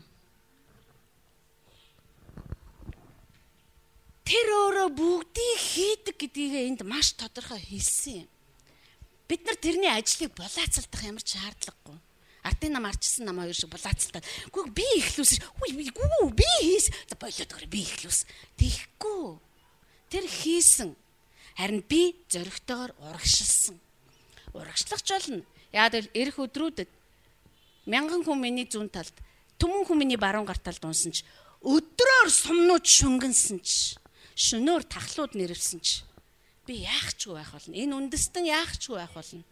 Яа тэгвэл миний бурхны мутар хаасайгүй ажиллаж байгаа учраас. Та нар ялангуяа ийш тийшгээ яваал аялахаараа зэрэг бүр бүр сайн мэддэг ш. Йоо Стиана би сая ялангуяа ийш тийшээ яваад ирсэн хүмүүс тэгш бурхаст гайхалтайгаар ажиллаж байна гэх. Гэхдээ тэгээ түүний гайхалтайгаар ажиллах ажиллаж байгааг харахын тулд байн байн гадагшаа яваад имэргүй ш. Бид нар чинь Бид нар ийг л амьдралдаа те өдөр тутамдаа тэр яаж ингэж биднэрт замын маань засаж өгдгийг те тэр яаж бид Египтээс гарсан ном дээр бурхан улаан тэнгистэй тулаад ирсэн израилчуудыг хараад удирдаад явж байхдаа мутраараа удирдаад явж байхдаа тэр юу гэж хэлсэн бэхэр би түүнийг энэ замаар удирдахгүй яа тэгэл энэ замаар удирдахаар тэд нар айхвээ гэсэн байгаа байхгүй. Тэгээд Египт рүүгээ буцахвээ гэж эцгийн сэтгэл. Тэр биднийг ойлгоно штэ ээ та нар айгаад тахтай яадаг юм. Уу сан тэнгүүдээ айгаад өө яста алаа ичил та та нарыг гээгүй байхгүй чи айдгийг би мэднэ. Чи айгаад ухарчих вээ дээ тийм учраас би ингэж ажилддаг юм аа. Мэдээд байгаа байхгүй бид нарыг. Тийм ээ хүн нэг бүрийг мэн шүү юу энэ маань юунаас айдгүй? Энд би амьдралд нь ямар сорилтыг өгчүүл энэ даахгүй намайг дагахаас эргэхвэ хүртэл тэр мэднэ Тийм учраас хүн нэг бүрт өгсөн сорилтууд нь яг хүн нэг бүртээ зориулагдсан байдаг учраас та би энийг даахгүй би энийг давж гарахгүй гэж бодох хэрэггүй байхгүй юу? Тэр танд өгсөн хариултын үг нь бас яанав? Мутраараа таныг göтөлж авч гарна л гэсэн. Урдах замыг чинь тэр цэвэрлэгч болно. Дараад нь бурхны мутар бидний баруун зүүн талд байна гэж хэлсэн. Тэр нэг хэлэхдээ би бол чиний баруун гар талд байдаг эзэн чинь гэсэн. Би чиний баруун гараас чинь атгадаг эзэн гэж хэлсэн. Бас нэг хэлэхдээ чи бол миний баруун гар талд суух ёстой нэг юм гэж хэлсэн. Тэгэхээр тэр бидний баруун зүүн талд байж таарад байгаа байхгүй юу? Мутрынх нь ажиллаа. Бурхны мутар чи ганцхан гар биш шүү дээ. Ингээд ганц гараа дастаад явуулсан те. Сувдагийн амьдралыг хамгаалаад тэр. Мутар гэдэг чинь тэр өөрөө бүхлээрээ л байхгүй юу да. Хотын сүмийнхэнд өнөөдөр хэлэгж байгаа үг бол би та нарын дунд амьдрахаар шийдсэн. Би эргэж буцалтгүйгээр шийдсэн. Би та нарын дунд амьдрах болно. Би та нарт өөрийнхөө мутрын ажлуудыг илэрхийлэх болно. Би та нарын мут Би та нарын дээр мутраа тавих болно. Би өмнө чинь мутраараа ажиллах болно. Би хоёр талд чинь мутраараа ажиллах болно. Хоёр талд гарч ажиллаж байгаа бурхан бидэнд хамгийн ихээр заадаг юм бол ерөөсөө л эрх мэдэл ш. Яаж эрх мэдэлтэйгээр амьдралаа авч явах вэ гэдэг. Эрх мэдэл гэж юу нь яг юу юм бэ гэж. Эрх мэдэл гэдэг бол эрх чөлөөгч шингээсэн байдаг. Эрх мэдэл өөрөө санаачлагыг шингээсэн байдаг. Эрх мэдэл өөрөө хүчийг шингээсэн байдаг. Өөрөөр хэлбэл та ингээд за энийг хийх үү яах вэ? Энийг ингэ хийжүүл яадаг. Я болохгүй хаа ингэчтiin билүү яа даа. За яах вэ? Яаж их эст мэдэхгүй байна гэдэг байдал. Ирэх мэдл гэдэг бол мэддэг байдлыг хэлдэг байхгүй. Юм маш тодорхой болж эхэлнэ гэсэн. Хүмүүс яагаад эрх мэдлэр улаар нь зүтгэдэг юм? Маш их учир жамцантай байдаг учраас тэд нэр эрх мэдлэр улаардаг байхгүй. Хүн байтугай Люцифер хүртэл эрх мэдлэр рүү тэмүүлээ тэгээд унсан шүү дээ. Эрх мэдэл бидэнд зөвөр өгөгдөх юм бол аюул байхгүй буруугаар өгдөх юм бол бидний амьдралыг устгах нь. Бид нар тийм учраас гэрээ мэддэг байх тухай ярьдаг. Гэрээ мэддэг байя. Орон гэрээ яахаа мэддэг байд хүү цөмөрөө. Алийн болгоо ингээд одоо тий пастраасаа ч юм уу ахлагчаасаа хин нэгнээс очиод за пастра одоо нөхөрчин өндөр сот ирсэн шүү. Одоо яах вэ? Айл пастор за тийм үү те. За мэдээж хамгийн нэгдүгээр залбир нь хоёлаа. Муу ерөн сүнсийг зайлуулна. За тэгээд үнэхээр эзэн чамаа хамгаалаач гэж би тэрийг л хамгаалаа гэдэг байгаа байхгүй тэр нөхөр мөхөр өөрсдөө тэр тэр бол бүр аль хэдийн зөөлөгт гарцсан шүү дээ. Архиудаг учраас тэр ойлгомжтой тэр тэрийг хамгаалах шаардлагагүй тэрний төлөө залбирах шаардлагагүй. Чамаа чинийхээ төлөө залбираш ямааг минь хамгаалах бас ааш бид нар нэрээ үнэхээр нэрээ За тэгэл явнаа гэртээ өрөөд ирсэн. Нэрэ бурхны авралч юм шиг. Мэдгүй одоо залбирал үйлчилсэн юм шиг. Тэгэл нөхөр айгу тайван болол унтаад өгсөн тэгэл нөгөө чи сайхан унтаад баярлал маргааш өглөө очоод цуглаан дээр очоод пастор тэр өчтөрөөс диавол архины сүнсийг ялаад хүлээд боогоо тавьчихсан чи хөөрхөн сайхан боолгоод үлгидүүлээд унтаад өгсөн байлээ. Эзэн алдар шиг ямар гоё.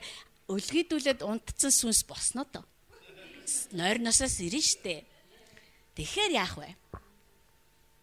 За тэгэхээр дахиад очно штэ Тэгэл одоо нэг тийм өлгийдсэн өлгийнөөсөө гарсан өлгийдсэн өлгийнөөсөө гарсан өлгийдсэн өлгийдүүлсэн нэг юм амьдрал болох гээд байгаа байхгүй юу? Ахаа мэдээж хэрэг тэр тэр нэг эртээр нэгэн цагт эртээ үрдээ цагт тийм арга ажиллаж байла. Одоо бол үгүй. Одоо бурхан биднээсээ гэрээ мэддэг болооч гэж эхнэртэйгээ нөхөртөөгөө яаж ярьдгаа мэддэг болооч э гэж. Чи хинбэ гэдгээ үргэлж санаач э гэж. Чи хаан ч явсан хинбэ гэдгээ санаач э. Юу хэлэхээ мэддэг байгаа ч э. Юу ярихаа мэддэг байгаа ч э. Чи юмыг тодорхой хараач э. Гэхдээ чи над руу хараач те. Гэхдээ чи надтай алхал да. Би чам заагаад өгч штэ. Тэхийн тул тэр мутраараа бидний баруун зүүн гар талд ажилдаг байхгүй юу? Бид нар баруун зүүн гар талд минь ажиллаж байгаа эзний мутрын ажиллагаа энэ хоёр талд ажиллаж байгаа ажиллагааг мэддгүй ээж оо бурхан минь эрх мэдлээ өгөөч би ста. Аваа би үнэхээр засгийн газрыг ороод ста би нэрэ будаа бол нэрэ чи будаа болгоно л та бэлтгэдэггүй байвал засгийн газрыг байтугай юмыг будаа болгоно. Пи пи пи зайлхстай христчингүүдийг дахиж хизээч Монгол дотор бүү байлга ямар юу гээ чи эргүү уусаа пи гэд хөөх бах л та. Тэм учраас бид нар мутрын ажиллагааны дунд нь суралцаа Йосеф тэгсэн бидтэй. Йосефийг Патифарын гэрт аваадсан.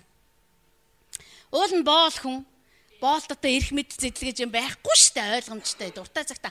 Гэтэл Йосеф үзэгдэшгүй аргаараа тэр гэрийг захирцсан л байсан байгаа байхгүй үзэгдэхгүй аргаар мэдхгүй тэр тэр хэнийг ч шившлэг хийгээгүй хинлүүч давс хужир цацаагүй. Тэгээ зүгээр л тэр юу хийхээ мэддэг маш одоо те одоо Мэдгүй нэг л тийм тодорхой. Хийсэн санаа болгоно нь үнэхээр явууртай. Батифар тэрнээс илүү санаа олж чаддаггүй байсан гिचэгээ гिचэгээд. Тэгээ за за боли боли би угаасаа яг чи боол үнэн би эзэн чинь үнэн гэхдээ э, би бол чадахгүй байна. Чи чи ямар л зүгээр дураараа авла. Тэгээ хараа Йосеф эрх мэдлээ хүртэл аягуулсан ойлгосон байсан ш. Йосеф ихнэрт нь юу гэж хэлдэг гэж. Гүй гүй.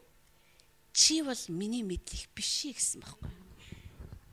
Бид нар заримдаа өө яана эзэн намайг ганцаараа байгааг мэдээд энэ эмэгтэйг илгээсэн буйзаа. Энэ эмэгтэйтэй би унтах ажигуу гэд унтчихдаг байхгүй.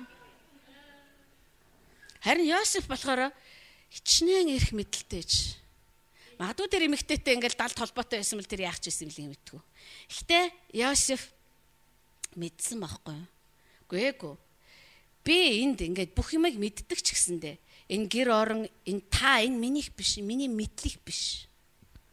Тийм учраас болохгүй гэсэн байхгүй. Үгүй гэдэг тослоготой үгийг тэр хэлжээ. Итгэлээрээ үгүй гэжээ. Бид нар тэгдэггүй. Бид нар орж ирж байгаа сайн ямигч тэр дайсны хайжигж байгаа махигч тэр тэгээд эзэн өгч байна, эзэн өгч байна гэж ааддаг. Тэгээ мэдээж дайсны байхын ямиг авцсан хүн чи яах өрөнд орно шүү дээ. Дайсан юм аа нэхэн шүү дээ. Өө яна би эзних гэж бодсон шүү дээ. Чи ийм тэнэг болохоор чи би чамд айгүйх юм өгсөн. Тэнгээ. Бидний тэр шоолох байхгүй юу? Тэм учраас хайрт ах トゥ ус минь ээ. Бидний баруун талд эзэн ажилдаг, бидний зүүн талд түүний мутар ажилдсан шүү. Яагаад гэвэл тэр биднийг үйлчлүүлэхийн тулд энэ үндэстэн дотор амьдруулдаг. Тэр өөрөө үйлчлэхийн тулд ирсэн. Тэм учраас бид нар эрх мэдлийг ашиглая л гэж байвал хүмүүст үйлчлэх зүрх сэтгэлийг эхлээд тэрнээс гуйхал ёстой. Тэр хийж өгнө л дөө энийг. За тэгвэл эзний мутар бидний ард бас ажиллана. Бидний хойно. Хойно гэхээр за тийм ээ тий араасаас ингээ хүн амьд утгах шийдвэлээс эзний мутар хамгаалах юм байна гэж.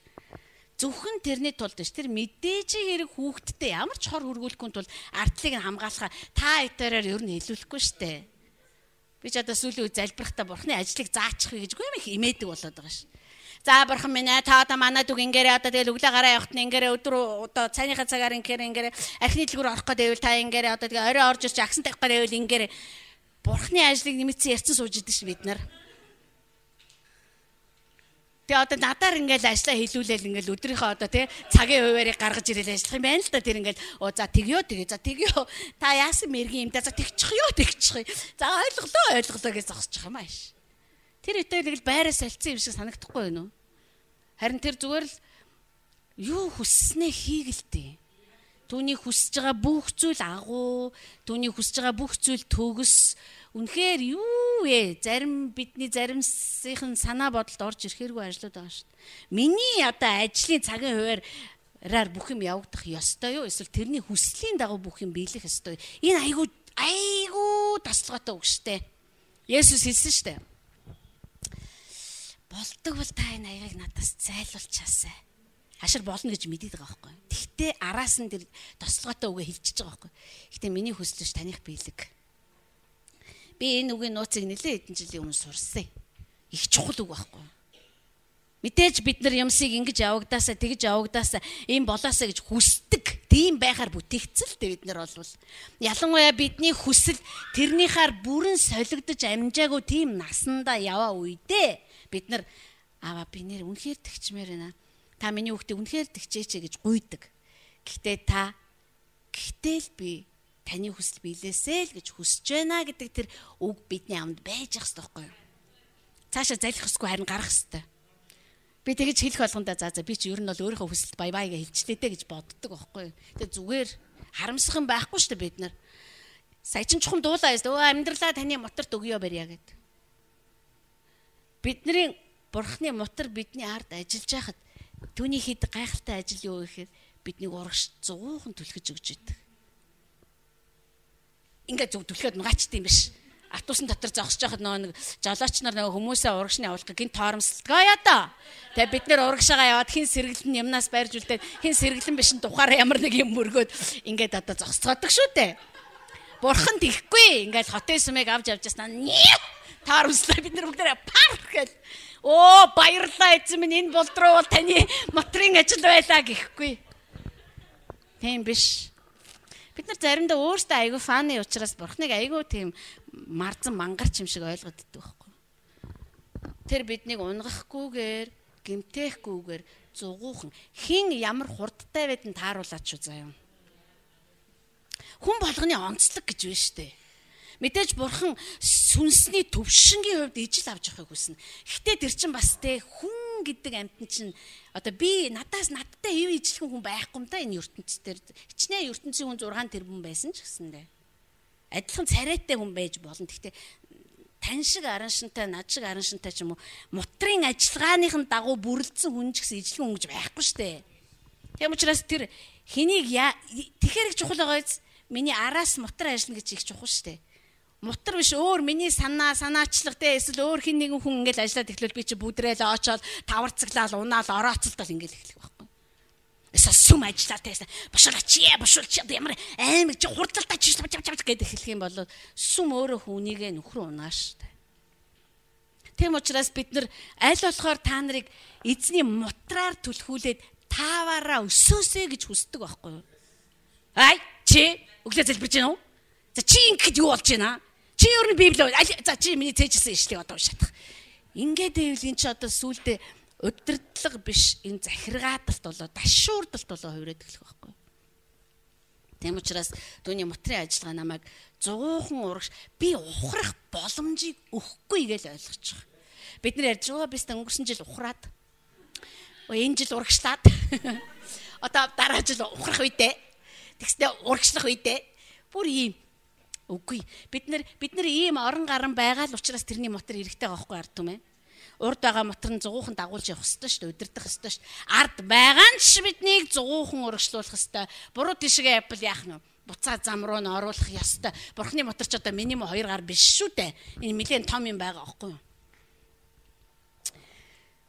Дараад нь нэг чухал ажил бол түүний моторт бид нар өөрийгөө өгөх байгаа аахгүй юу? Бид нар өөрийгөө те амьдралаа бүхлээр нь л дээ ер нь бол түүний моторт өгсөн байхад тэр биднийг аар өвөр те хажуу талаас дээрээс яаж удирдахаа өөрөө шийдэл аваа авчдаг. Тэгээ би та нарыг өнөөдөр бас үнэхээр шийдвэр гаргаад дахиад залбираасаа гэж бодож байгаа юм. Шийдээсээ. Оо бурхан минь ээ яах вэ? Би таны мотрын ажиллагаар нь орох уу яах вэ гэх биш. Зүгээр л бурхан минь ээ би итгэж байна. Таны мотор урт талд минь байгаа. Таны мотор ард минь байгаа. Таны мотор миний баруун гар талд байгаа. Таны мотор миний зүүн гар талд байгаа. Би юунаас айх юм бэ? Таны мотор намайг хэрэгтэй үе дээрээс дардаг. Хэрэггүй бүх идэ бэрээс нь цэвэрлдэг. Таны мотор миний дээрээс дарж би хүчрэхэг болдог. Тийм учраас би таны мотор хаана ямар зүгт ажиллаж исэн ч 400 800 зөвхөст ажиллаж исэн ч би танд үнэхээр талархаж байна. Та тэгээ үргэлжлүүлэн ажиллаарай аваа. Би айхгүй байна.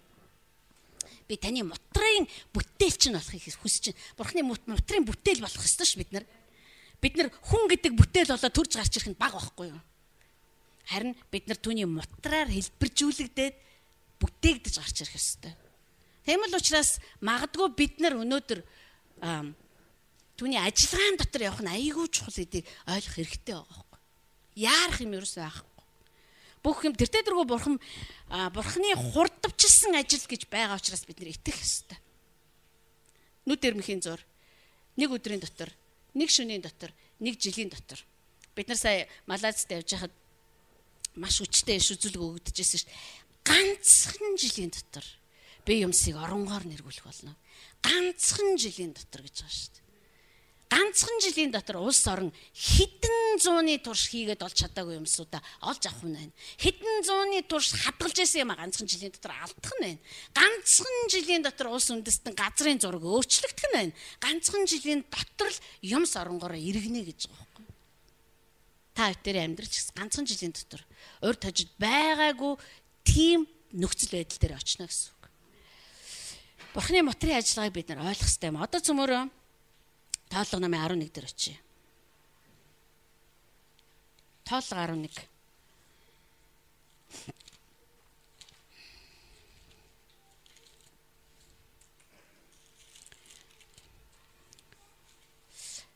Бид нар байна штэ түүний мутар яаж ажиллаж байгааг харах тусмаа бид нар тэрэн лүү шундъя. Яг л тэрний мутрын ажиллагаа чинь дандаа үр жимсийг ургуулдаг байхгүй. Зүгээр сайн үр дүн авчрах биш. Үр жимс ургуулна. Үр жимс урахгүй бол миний хойч юугаа идэх вэ? Яг л тэр хэлэхдээ чи бишээ ганцаараа. Чиний үр удам. Тэрний үр удам гэж хэлсэн штэ. Тэр үр жимс ургадаг байхгүй бидний амьдрал яах нь одоо энэ библиэр ишигдсэн шиг урсгал усны дэргэд таригдсан ногоо мод шиг байх болно гэж. Өвөл зөнгөө мод навчин ногооноор байдаг. Үржилт шимтээ үр жимсээ байнга өгдөг. Тийм л амьдралтай болох нь байна л да бид нар. Мотрын ажиллагааны үр дүнд. Тоолго намын 11-р бүлгийг харъя. Энэ маш гонигтай түүх гардаг. Арт түмэн эзний чихэнд энэ энэ 11-р бүлгээр дамжуулаад бурхан хотын сүмдээ маш тодорхой заавар өгж байгаа гэж би итгэж байгаа. Ард түмэн эзний чихэнд гай зовлонгоос олж гомдлох ёстой адил болвоо. Эзэн үүнийг сонсмогц түүний уур хилэн дүрлдсэн ба эзний гал тэдний дунд шатан хуарангийн зарим зах хаяаг шатав. Ард түмэн Мосе руу хашгирахад Мосе эзэнт залбирсан бөгөөд гал унтрав бүх юм нэг нэг зэрэг явагдаад байгаа байхгүй. Энд ямар ч ирээдүйн тухай юм яригдаагүй, энд ямар ч өнгөрсөн тухай юм яригдаагүй. Эзний гал тэдний дунд шатсан учраас уг газрын нэр нь Табера хэмээн дуудагдах болжээ. Зүгээр ингээл амьдрал яваал газрыг өөрчлөл нэрийг нь солиол явсан байна л да. Тэдний дунд байсан холилдсон хүмүүс дэндүү шунхаарч. Энэ дэндүү шунхаарч гэдэг чинь бүр англи хэл дээрээ бүр одоо бүр маш их мэрэлттэйгээр шунхаарсан гэж байгаа байхгүй юу? Шунхаарч мөн Израилийн хөвгүүд ч дахин уйлж хоёр төрлийн хүн байгаа биз? Нэг нь холилдсон хүмүүс. Данд Египтүүдтэй суусан хүмүүс байхгүй. Эрлизүүд тэгэл Египт их нэртэй, Египт нөхөртэй тийм хүмүүс гарч ирсэн дээ. Тэд нар яасан бэ гэхээр бүр улайрын шунхаарсан маа. Тэднийг хараад Израильчууд яасан бэ гэхээр уйлсан байгаа юм. Уул нь тэр одоо холилдсон эрлиц хурлиц хүмүүс рүү харахгүй эзэн лугаа харах ёстой байж л дээ. За эзний харж мэдэхгүй бол ядаж Мосе рүү харах ёстой гэж. Харин тэд нар тэг тэдний тасралтгүй эрчимтэйгээр шунхаарихыг хараад нөгөөд бол атжээ гэсэн үг. Тэгээд Израилийн хөвгүүд ч дахин уйлж хэн бидэнд идэх мах өгөх вэ? Бид Египтийн нутагт үнгүүгээр идэж дассан загас минь, өргөст химэх минь, тарус минь, зэрлэг сонгон минь, сонгон сэрмэс минь ээ.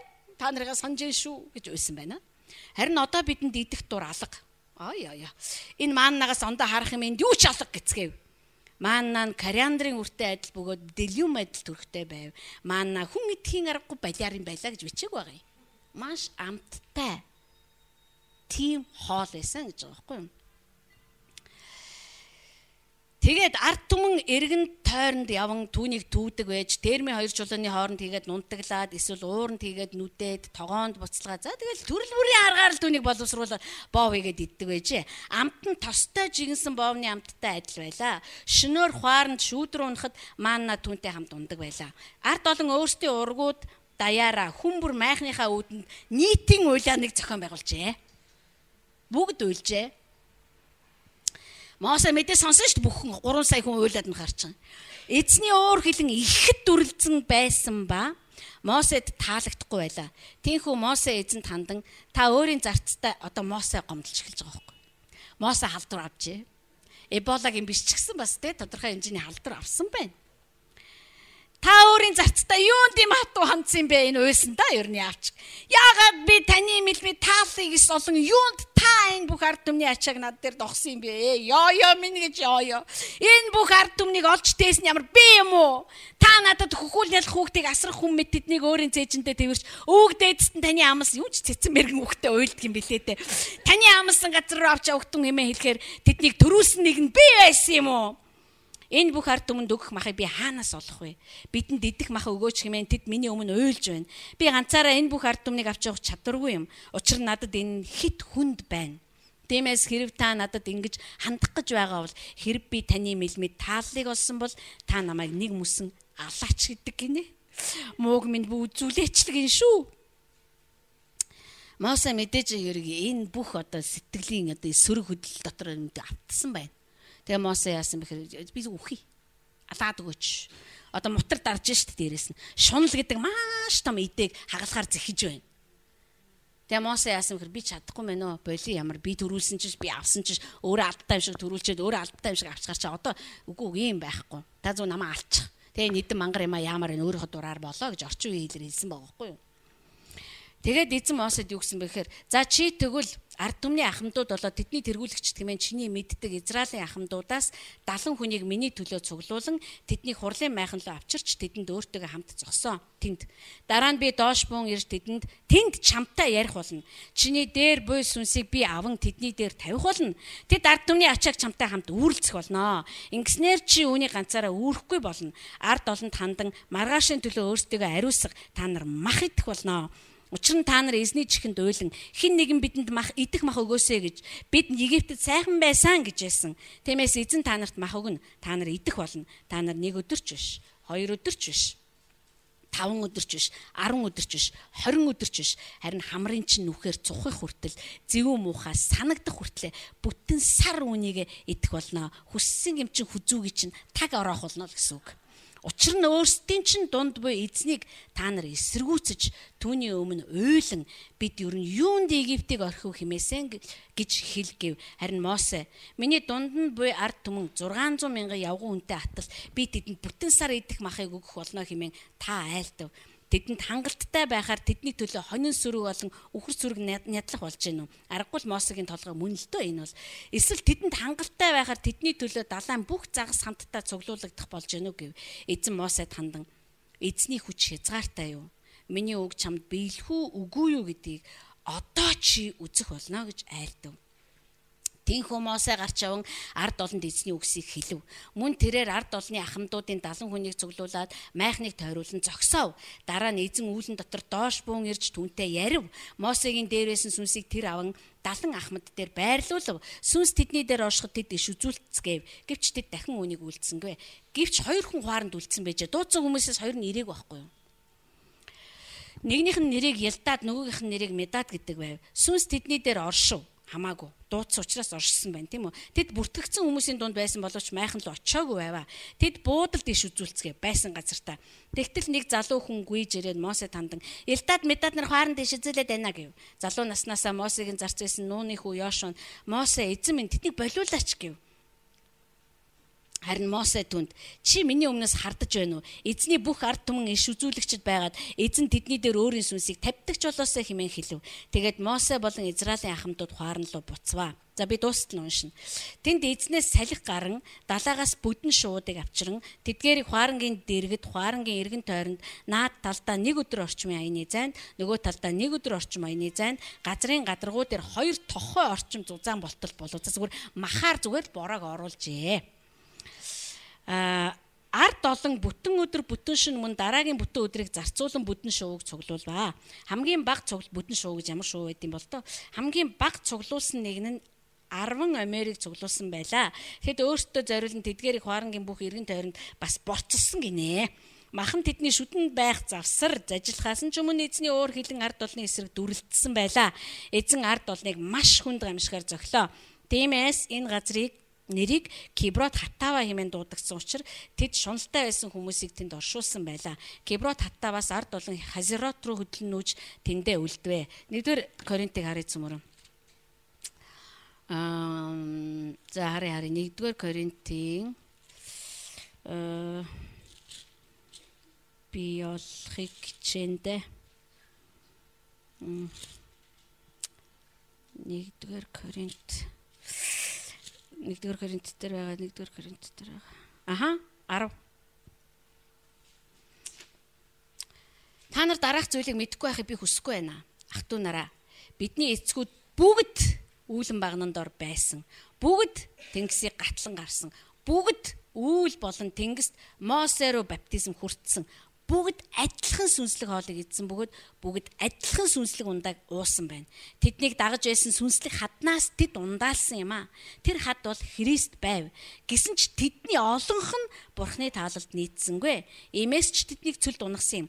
Тэд тачаадан хүссэн шиг бузар юмсын араас бид тачаадан хүсэхгүй байхын тулд энэ нь бидэнд жишээ болон өгөгдсөн юм а гэсэн маа.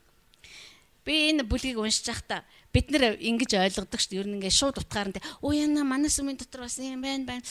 Янаас бидний бидний дотор гал гараад бидний зах хаягаар энэ энэ энэ өрөөний хаяа хэсэг шатах юм байна л да. Тэгэл одоо аюул болох юм байна да би тэгэж ойлгохоос илүүгээр бурхан бидэнд маш онцгой зааврыг өгч нэг зүйл дээр бидний анхаарлыг тавьж байна. Энэ бас шунал аа. Бид нар шуналтай хүн гэхэр л хэд мөнгө шундаг үнийг л бодоод идэг. Шунал юу руу ч шунж болдгийг яг энэ шуналч нь чиний хүзүүг орооноо. Яг энэ шунал чиний дээр хараалыг авчрах болно. Яг энэ шунал өөрөө чамайг өөрөө чинь устгах учраас та нар яг одоо шунлыг одоо олзолж авах хэрэгтэй.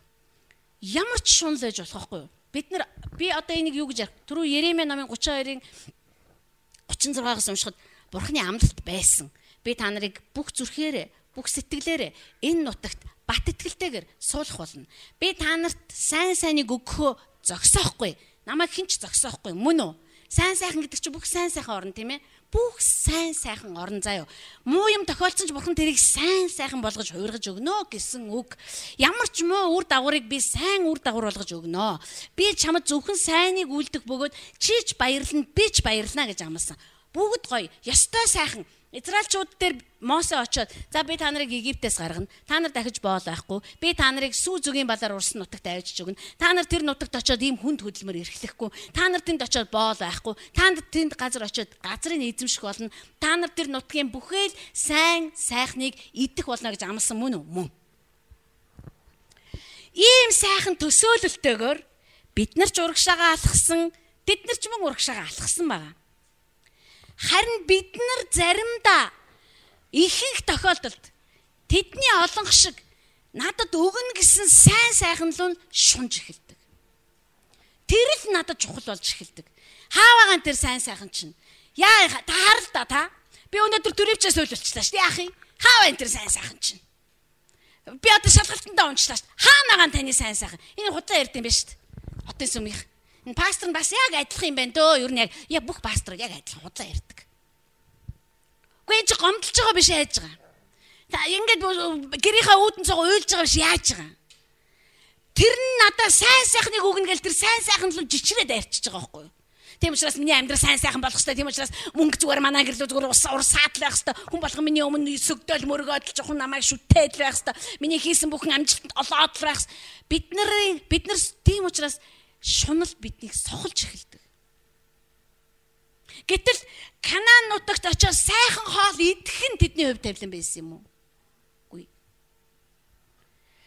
Канаанд очисон ч бай, Египттэй байсан ч бай, Тэд нэр түүнтэй хамт амьдарч, түүнтэй хамт засаглж, захиргааддаг тийм ард түмэн байх ёстой байсан байхгүй юу? Тэд нар боол байсан ч гэсэндээ ямар ч зэвсэггүй заяо. Боолын л ажил хийдэг байсан шүү дээ тэд нар чинь. Тэд нар байлдаагүй, тэд нар э, фараонтой хэрэлдээгүй, хүч чадлаа гайхуулаагүй, 93 наадам зохиогоод төрүүс нь яваарэ гээгүй. Боол мөртлөө яагаад ч юм тэр хаан тэднийг явуулсан. Гэнт ухаараадгүй энэ мө боолуудыг эцсийн бүл намайг ховсдсан байж нь Мосе дурак араас нь очиж авъя гэд бүх зэрэгээ аваад очдөг байхгүй юу. Тэгсэн ч гэсэн тэр ард түмэн тэр хаантай тулалдаагүй байхгүй Ихэнч тэрнтэй тулалдаагүй. Зүгээр бурхан гал гаргасан, газар онгойлгосон, ус нээсэн, ус руу өөртөө зүгээр гүгээл хин тэдрийг ор гэсэн юм. Ингээ ярцсан ус чи буцаа буун үсттэй. Гэхдээ ярахтаа тэр Египтийн армийн төлөө яраагүй яраагүй гэдгийг жоохон ухаантай бол ойлгох хэрэгтэйсэн байхгүй юу? Ярцсан ус руу декад ордог гинэ. Бурхан ярсан чи буулгана л үддээ. Тэгэл үгцэн байхгүй юу? Тийм биз дээ. Бурхантай хамт амьдарч явсан бүх өдрүүдэд тэг болгосноо. Одоо бидний амьдрал яг тийм болж болцсошгүй учраас би өнөөдөр бурхан хотын сүнхэнд хараад хандаад за та нар энэ шунал гэдэг шуламсаас хол бай. Энэ шулмас хоёр охинтой юм аа. Тэгээ тэд нар ерөөс өг өг өг би ханахгүй байна л гэж хэлдэг. Та нар хүсэл чинь ихтүүл шунал болчтой. А шунал чинь ихлүүл ихтүүл тэгэл одоо шууя болно гэсэн үг шүү дээ. Тэгм учраас өнөөдөр бид нар юу хүсэж байна вэ? Хэр ихээр хүсэж байна вэ гэдгийг нягтлах хэрэгтэй болчих. Сайхан юм хүсчээ. Бид нар хүн ер нь муухай хүсдэг юм уу бурхан минь? Хин ч хүсдэггүй л байхгүй юу? сайн хүслүүдийг хүртэл одоо өнөөдөр суугаад нэг сайтар нягтлах хэрэгтэй болсон байгаа байхгүй юу? Би энийг хэр их хүсээд байна. Би эсвэл бурхныг өдөр болгон дарамтлж гин үү? Бурхан минь ээ та яста та нэрээ яалаа гэж ээ за тантай юу ч ярих вэ? Яста даан ч юм ойлгохгүй юм да. Ай ай ай та нэрээ ойлгол ойлгохоор болтол одоо явлаа да би нэрээ айгүй өөрийгөө зориуллаа би одоо нэрээ ста 11 мэг ер нь байдгаа л өгсөндөө танд байна энэ яг уйлж байгаа мэ тийм ухаа зүүн сонсогддог байх нэ. Бурхан эцгийн илгээсэн христийн цуснд талархъя да. Тэгээг бол бид нар энэ хуаранд байсан хүмүүс шиг л айгүй болвол тий дүрлзэл бадамлал дуусах нь биш Шангрила бадамсан шиг биднэрт юу гэж хэлээд байна гэхээр Та нарын дотор тийм юмнууд байна. Та нар миний өгч байгаа амлалтанд дэндүү улаарч байна. Та нар миний өгч байгаа өгнө гэж хэлж байгаа сайн сайхныг хараад миний хийсэн бүхнийг мартаж эхэлж байна. Цөмөр бодъё л доо. Жилийн өмнө та хаана байсан бэ? Юутай байсан бэ? 2 жилийн өмнө, 3 жилийн өмнө, 10 жилийн өмнө, 20 жилийн өмнө итгээгүй байхдаа та юутай байв? Яаж амьдарч би зүгээр эд хөрөнгө ярээгүй байна заа юу.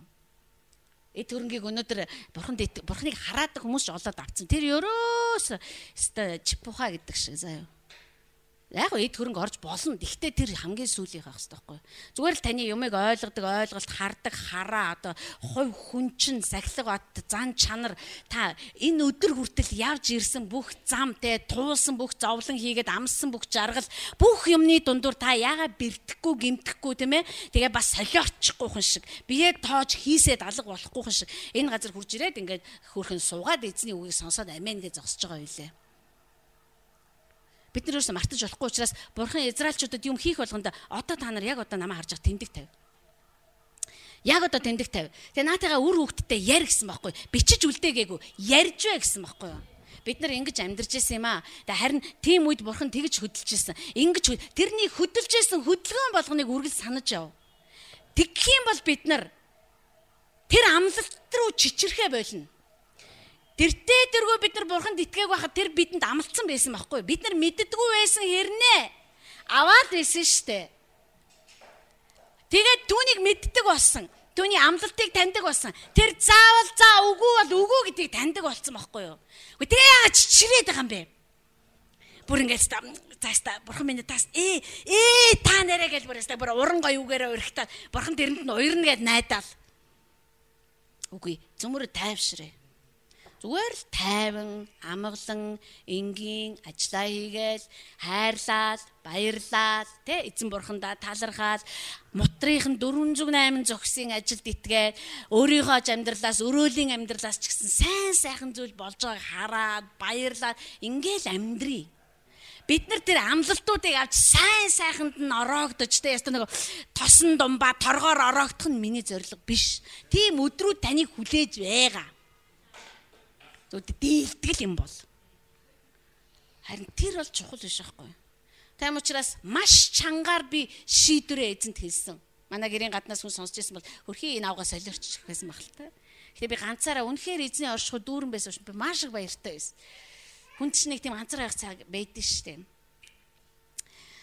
Би дахиад шийдвэрээ гаргаж ийн аваа. Үнэхээр тийм ээ миний амьдрал сайн сайхан ирж ав. Би угаасаа мэдгүй миний амьдрал сайхан л байдаг. Тэгээ би сайхан байгаагаа харж мэдэж амьдрдаг би энийг мартахыг хүсэхгүй байна.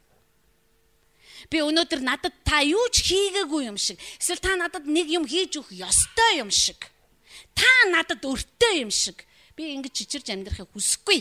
Энэ миний амьдрал биш. Бүх сүнсний ертөнд сонсох ёстой. Энэ бол миний амьдрал лав биш. Тийм учраас сувдаа чи ухаанснаа зэгцлэх ёстой. Чи хурц хിവэрэ байх ёстой. Чи юурууч чичирч салганч дайрах ёсгүй. Юм үзег хүмүүс нэг тийм байдаг нэг жоохон юмны бараа харж гараа зэрэг бүр ингэ чичрэлүүд амна бүр ингэ салхир молир болол ингэ би аавна би аавна гэж дайраад идэг. Тих ёсгүй. Бурхны сайн сайхан элбэг бүх хүнд хүрэлцээтэй. Бурхан нэг л нарыг бүтээсэн дэлхийг хангалттай гэрэлтүүлдэг байхгүй юу? Тэгвэл тэр сайн сайхан хүрэн бидэн заа дуусахгүй юусэн. Тэгээ бурхны сайн сайхан эхнийх нь сайн байгаа сүулт шиг муудсан байдгүй юм. Эхнийх нь ч цоошин хамгийн сүүлийнх нь эцсгүүлдээ ер нь бол эхлэл төгсгөл байхгүй л те. Тийм учраас тэр хизээч өө яана тийм хошин онгой байж яана хамар дуусчихжээ энэ л байна ч гэх шиг. Тийм байхгүй штэ. Тийм учраас бидний дотор зүрх сэтгэлд минь нэг тийм юм байдгийм байна чичрээл, дайраал, хаава энэ тэр сайн сайхан чинь те 14 ончоос лаг лаг л гэсэн хаавгаа би одоо хүртэл юуж хүртээгүй. Та хоёр тэрийг хүртэхийн тулд тэрэнд итгээгүй байхгүй юу? Та та хоёр тэрэнд итгэж явахдаа 14 онч гэж хаа байлаа, ардын засагч гэж юу байлаа гэдэг шиг л байсан биз дээ. Зүгээр л түнд итгэсэн ш те. Та ямар сайн бурхан, сайнын ч сайн амтлаагүй мөртлөө та сайн юм аа ямар гоё юм бэ гэж уйлал те. Ягаад ч юм тэрнийг хайрлал ямар сайн бурхан бэ гэж. Тийм хөөрхөн байсан байхгүй юу? Одоо ч 80 санаатай. 8 арцаастай ерөөсөө тэгээд 14 он гэл нэг баахан юм ярьсан. Тэгэл одоо ер нь л харагдахгүй л байшөө ер нь бол үзүүр язаар нь ер нь л үзэгдэхгүй л байшөө хаана байна ер нь төвчээр бол харагдах гад л байшөө Тийм учраас би өөрөө өөрийгөө зэмлэх хэрэгтэй. Би өөрөө өөрийгөө сахилгажуулах вэ сувда чи юу н ингэж ярддаг юм бэ? Би бол өөрөө өөрийгөө амар загнад ш та нар манай гэрээ гаднаас сонсон бол ээ бурхан энэчтэй хэнийг загнаад байна. Ингэж жоохон ингэж эрүүл ухаанснаагаа эргүүлэн буцааж авцрахгүй бол өө жичирчсэн те бүр нөгөө чи ингэ энэ айгу аюултай. Бурхан те тэднэрт мах өгсөн. Маха эдэж дуусаагүй нь тэдний маш олон хүн тахлаар өгсөн. Бид тэр махнасаа өвчин авсан гэдэгт итгэлтэй байд шунал гэдэг юм чинь бидэнд хизээч сайн сайхныг авчирдаг байхгүй. Харин бурхны өрөөл бол хизээч гашуудлыг авчрахгүй. Ойлгосноо? Тэгэхээр миний та нарт хэлж байгаа үг та нарыг яг залбирал руу ч гүтлэн л дөө. Бид нар яах нь вэ? Түүний мотрын ажиллагаанд итгэх нь байна. Итгэдэггүй бол одоо итгэл бишрлээ жоохон сэргээж үз. Эзэн лөө илүү ойртож үз. Илүү ойрт гэхээр л илүү олон цагаар суух юм битээ бод.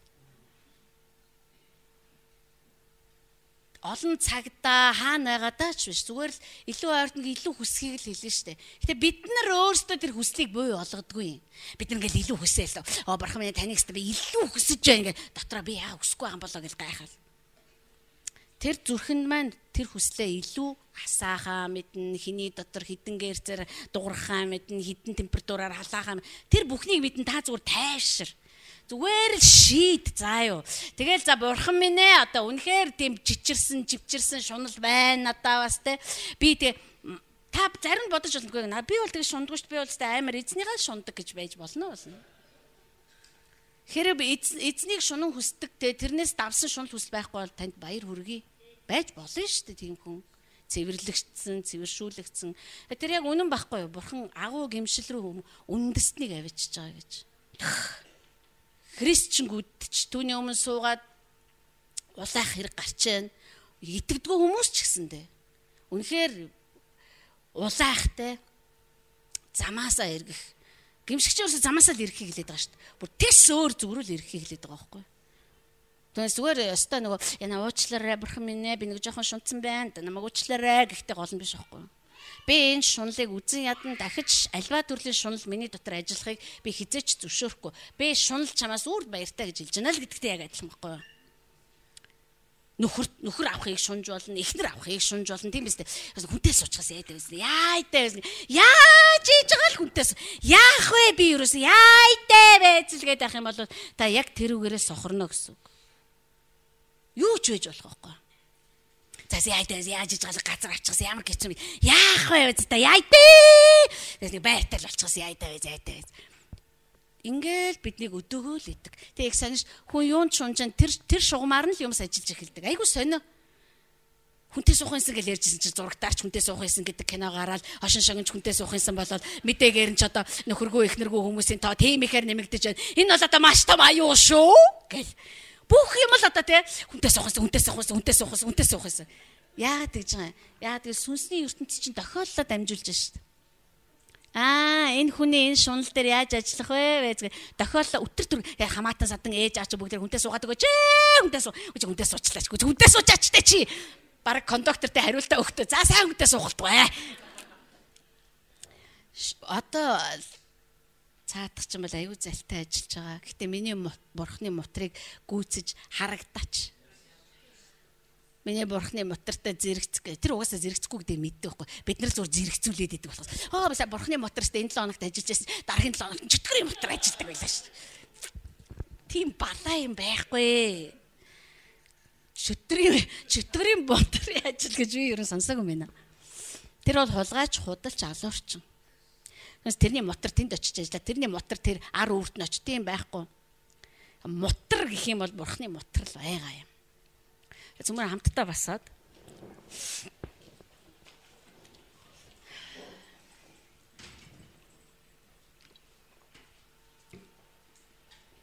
Би бурханд бас нэг талархдаг зүйл юу байдаг гэхээр энэ бурхан үнэхээр их юу юм аа. Үнэхээр харахгүй л амьдралын бурхан юм. Биднэрт ингэж одоо ингээд зааварчилгаанууд маш тодорхой өгдөг яг тийм ерөнхий юм яриа л ста. Хаан ч ирж авна. Ста нэрэ би ба шатаах гал гээд яаж ч ирж аваад байгаа юм. Тэгээ шатаах гал гэхээр би айх хэвтэй юм уу? Эсвэл одоо галт нь ингээд дулаацах хэвтэй юм уу? Намайг айлгаад байгаа юм уу? Эсвэл намайг сайшаагаад байгаа юм. Тийм биш зүгээр л яг л хилдэг. За та нар одоо ингээрээ одоо ийм юм байна. Тэгэхээр ингэж ингэж ажилдаг юмс бол ийм байдаг гэдгийг маш энгийнээр бидэнд хэлээд өгчөж байгаа учраас бид нар яах вэ? Оо би энийг хийж чадахгүй бид нар гэхгүй Би та нарыг ерөнхийдөө залбирлаа ямар одоо чиглэл рүү аваачих вэ гэдгийг ойлгосон гэж бодож байгаа. Хайрт эцэг минь бид нар өнөөдөр танд талархаж байна. Тэгээ үнэхээр та бидний дотор танаас имээхийг суулгаж өгөөрэй. Танаас эргэхгүй тулд та бидний зүрхэнд танаас имээхийг, таныг хүндлэхийг, таны мутрын ажиллагаа миний дээр, миний баруун зүүн талд, миний урд талд, миний хойно, миний дотор, таны мутар яаж явж байгааг та ойлгож харах сүнсний нүдийг нээж өгөөрэй. Сүнсний чихмэн нээлттэй байх болтугай аваа. Яа тэгэл хүн хизээч таны мотраас хол зогтож чадахгүй юм аа. Дээшээ гарсан ч гэл таны мотор тэнд байна. Доошоо очсон ч таны мотор тэнд байна. Далайн алсын хязгаар цуусан ч таны мотор намайг олж очдөг гэлээ. Тэм учраас бид танд баярлж байна. Эс бөгөөс бид нарыг алдагдсан мэт байх байсан. Хайрт аваад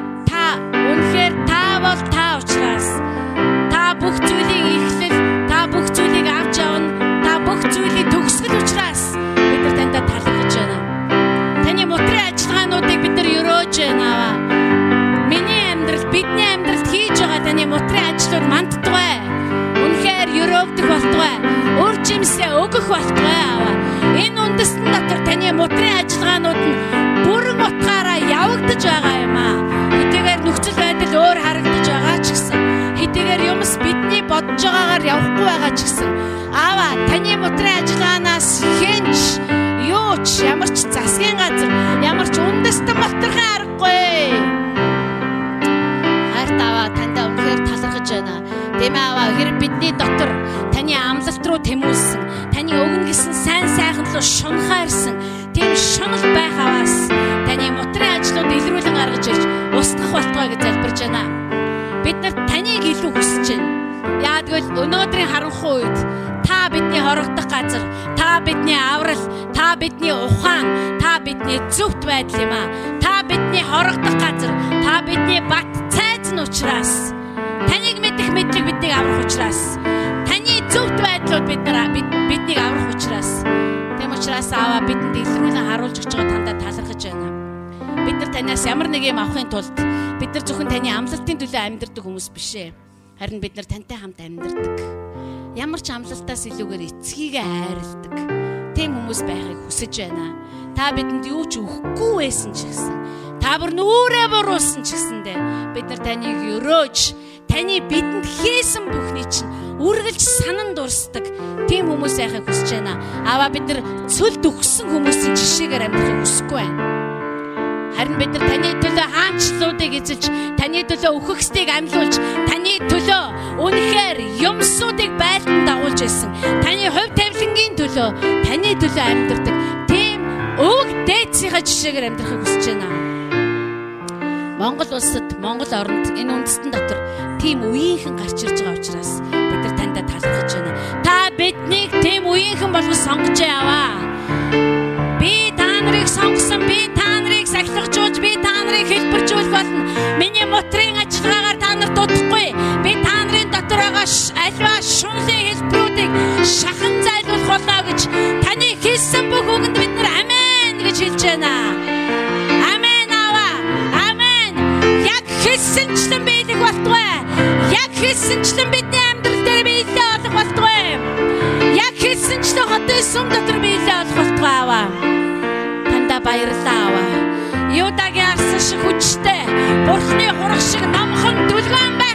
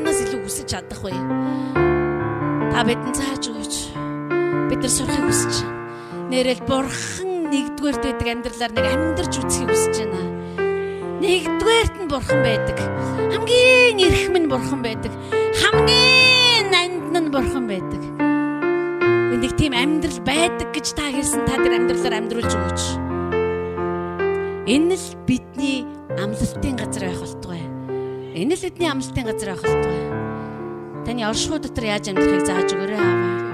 Яад өлөнөө өглөө бид нар хэлж байна. Бидний чинь хүсэл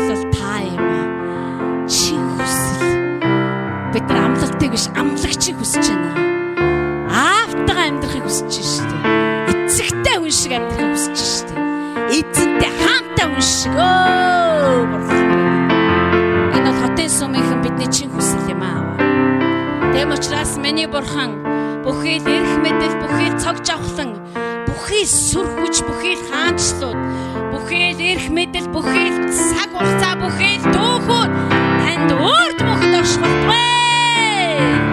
Амен. Амен. Амен. Халелуя. Халелуя. Халелуя. За та нар маш их урам орсон гэдэгт би итгэж байгаа. Гараад л унтарчихгүй урам чинь. Үргэлжлүүлэн сэргээгээрээ За төр суй.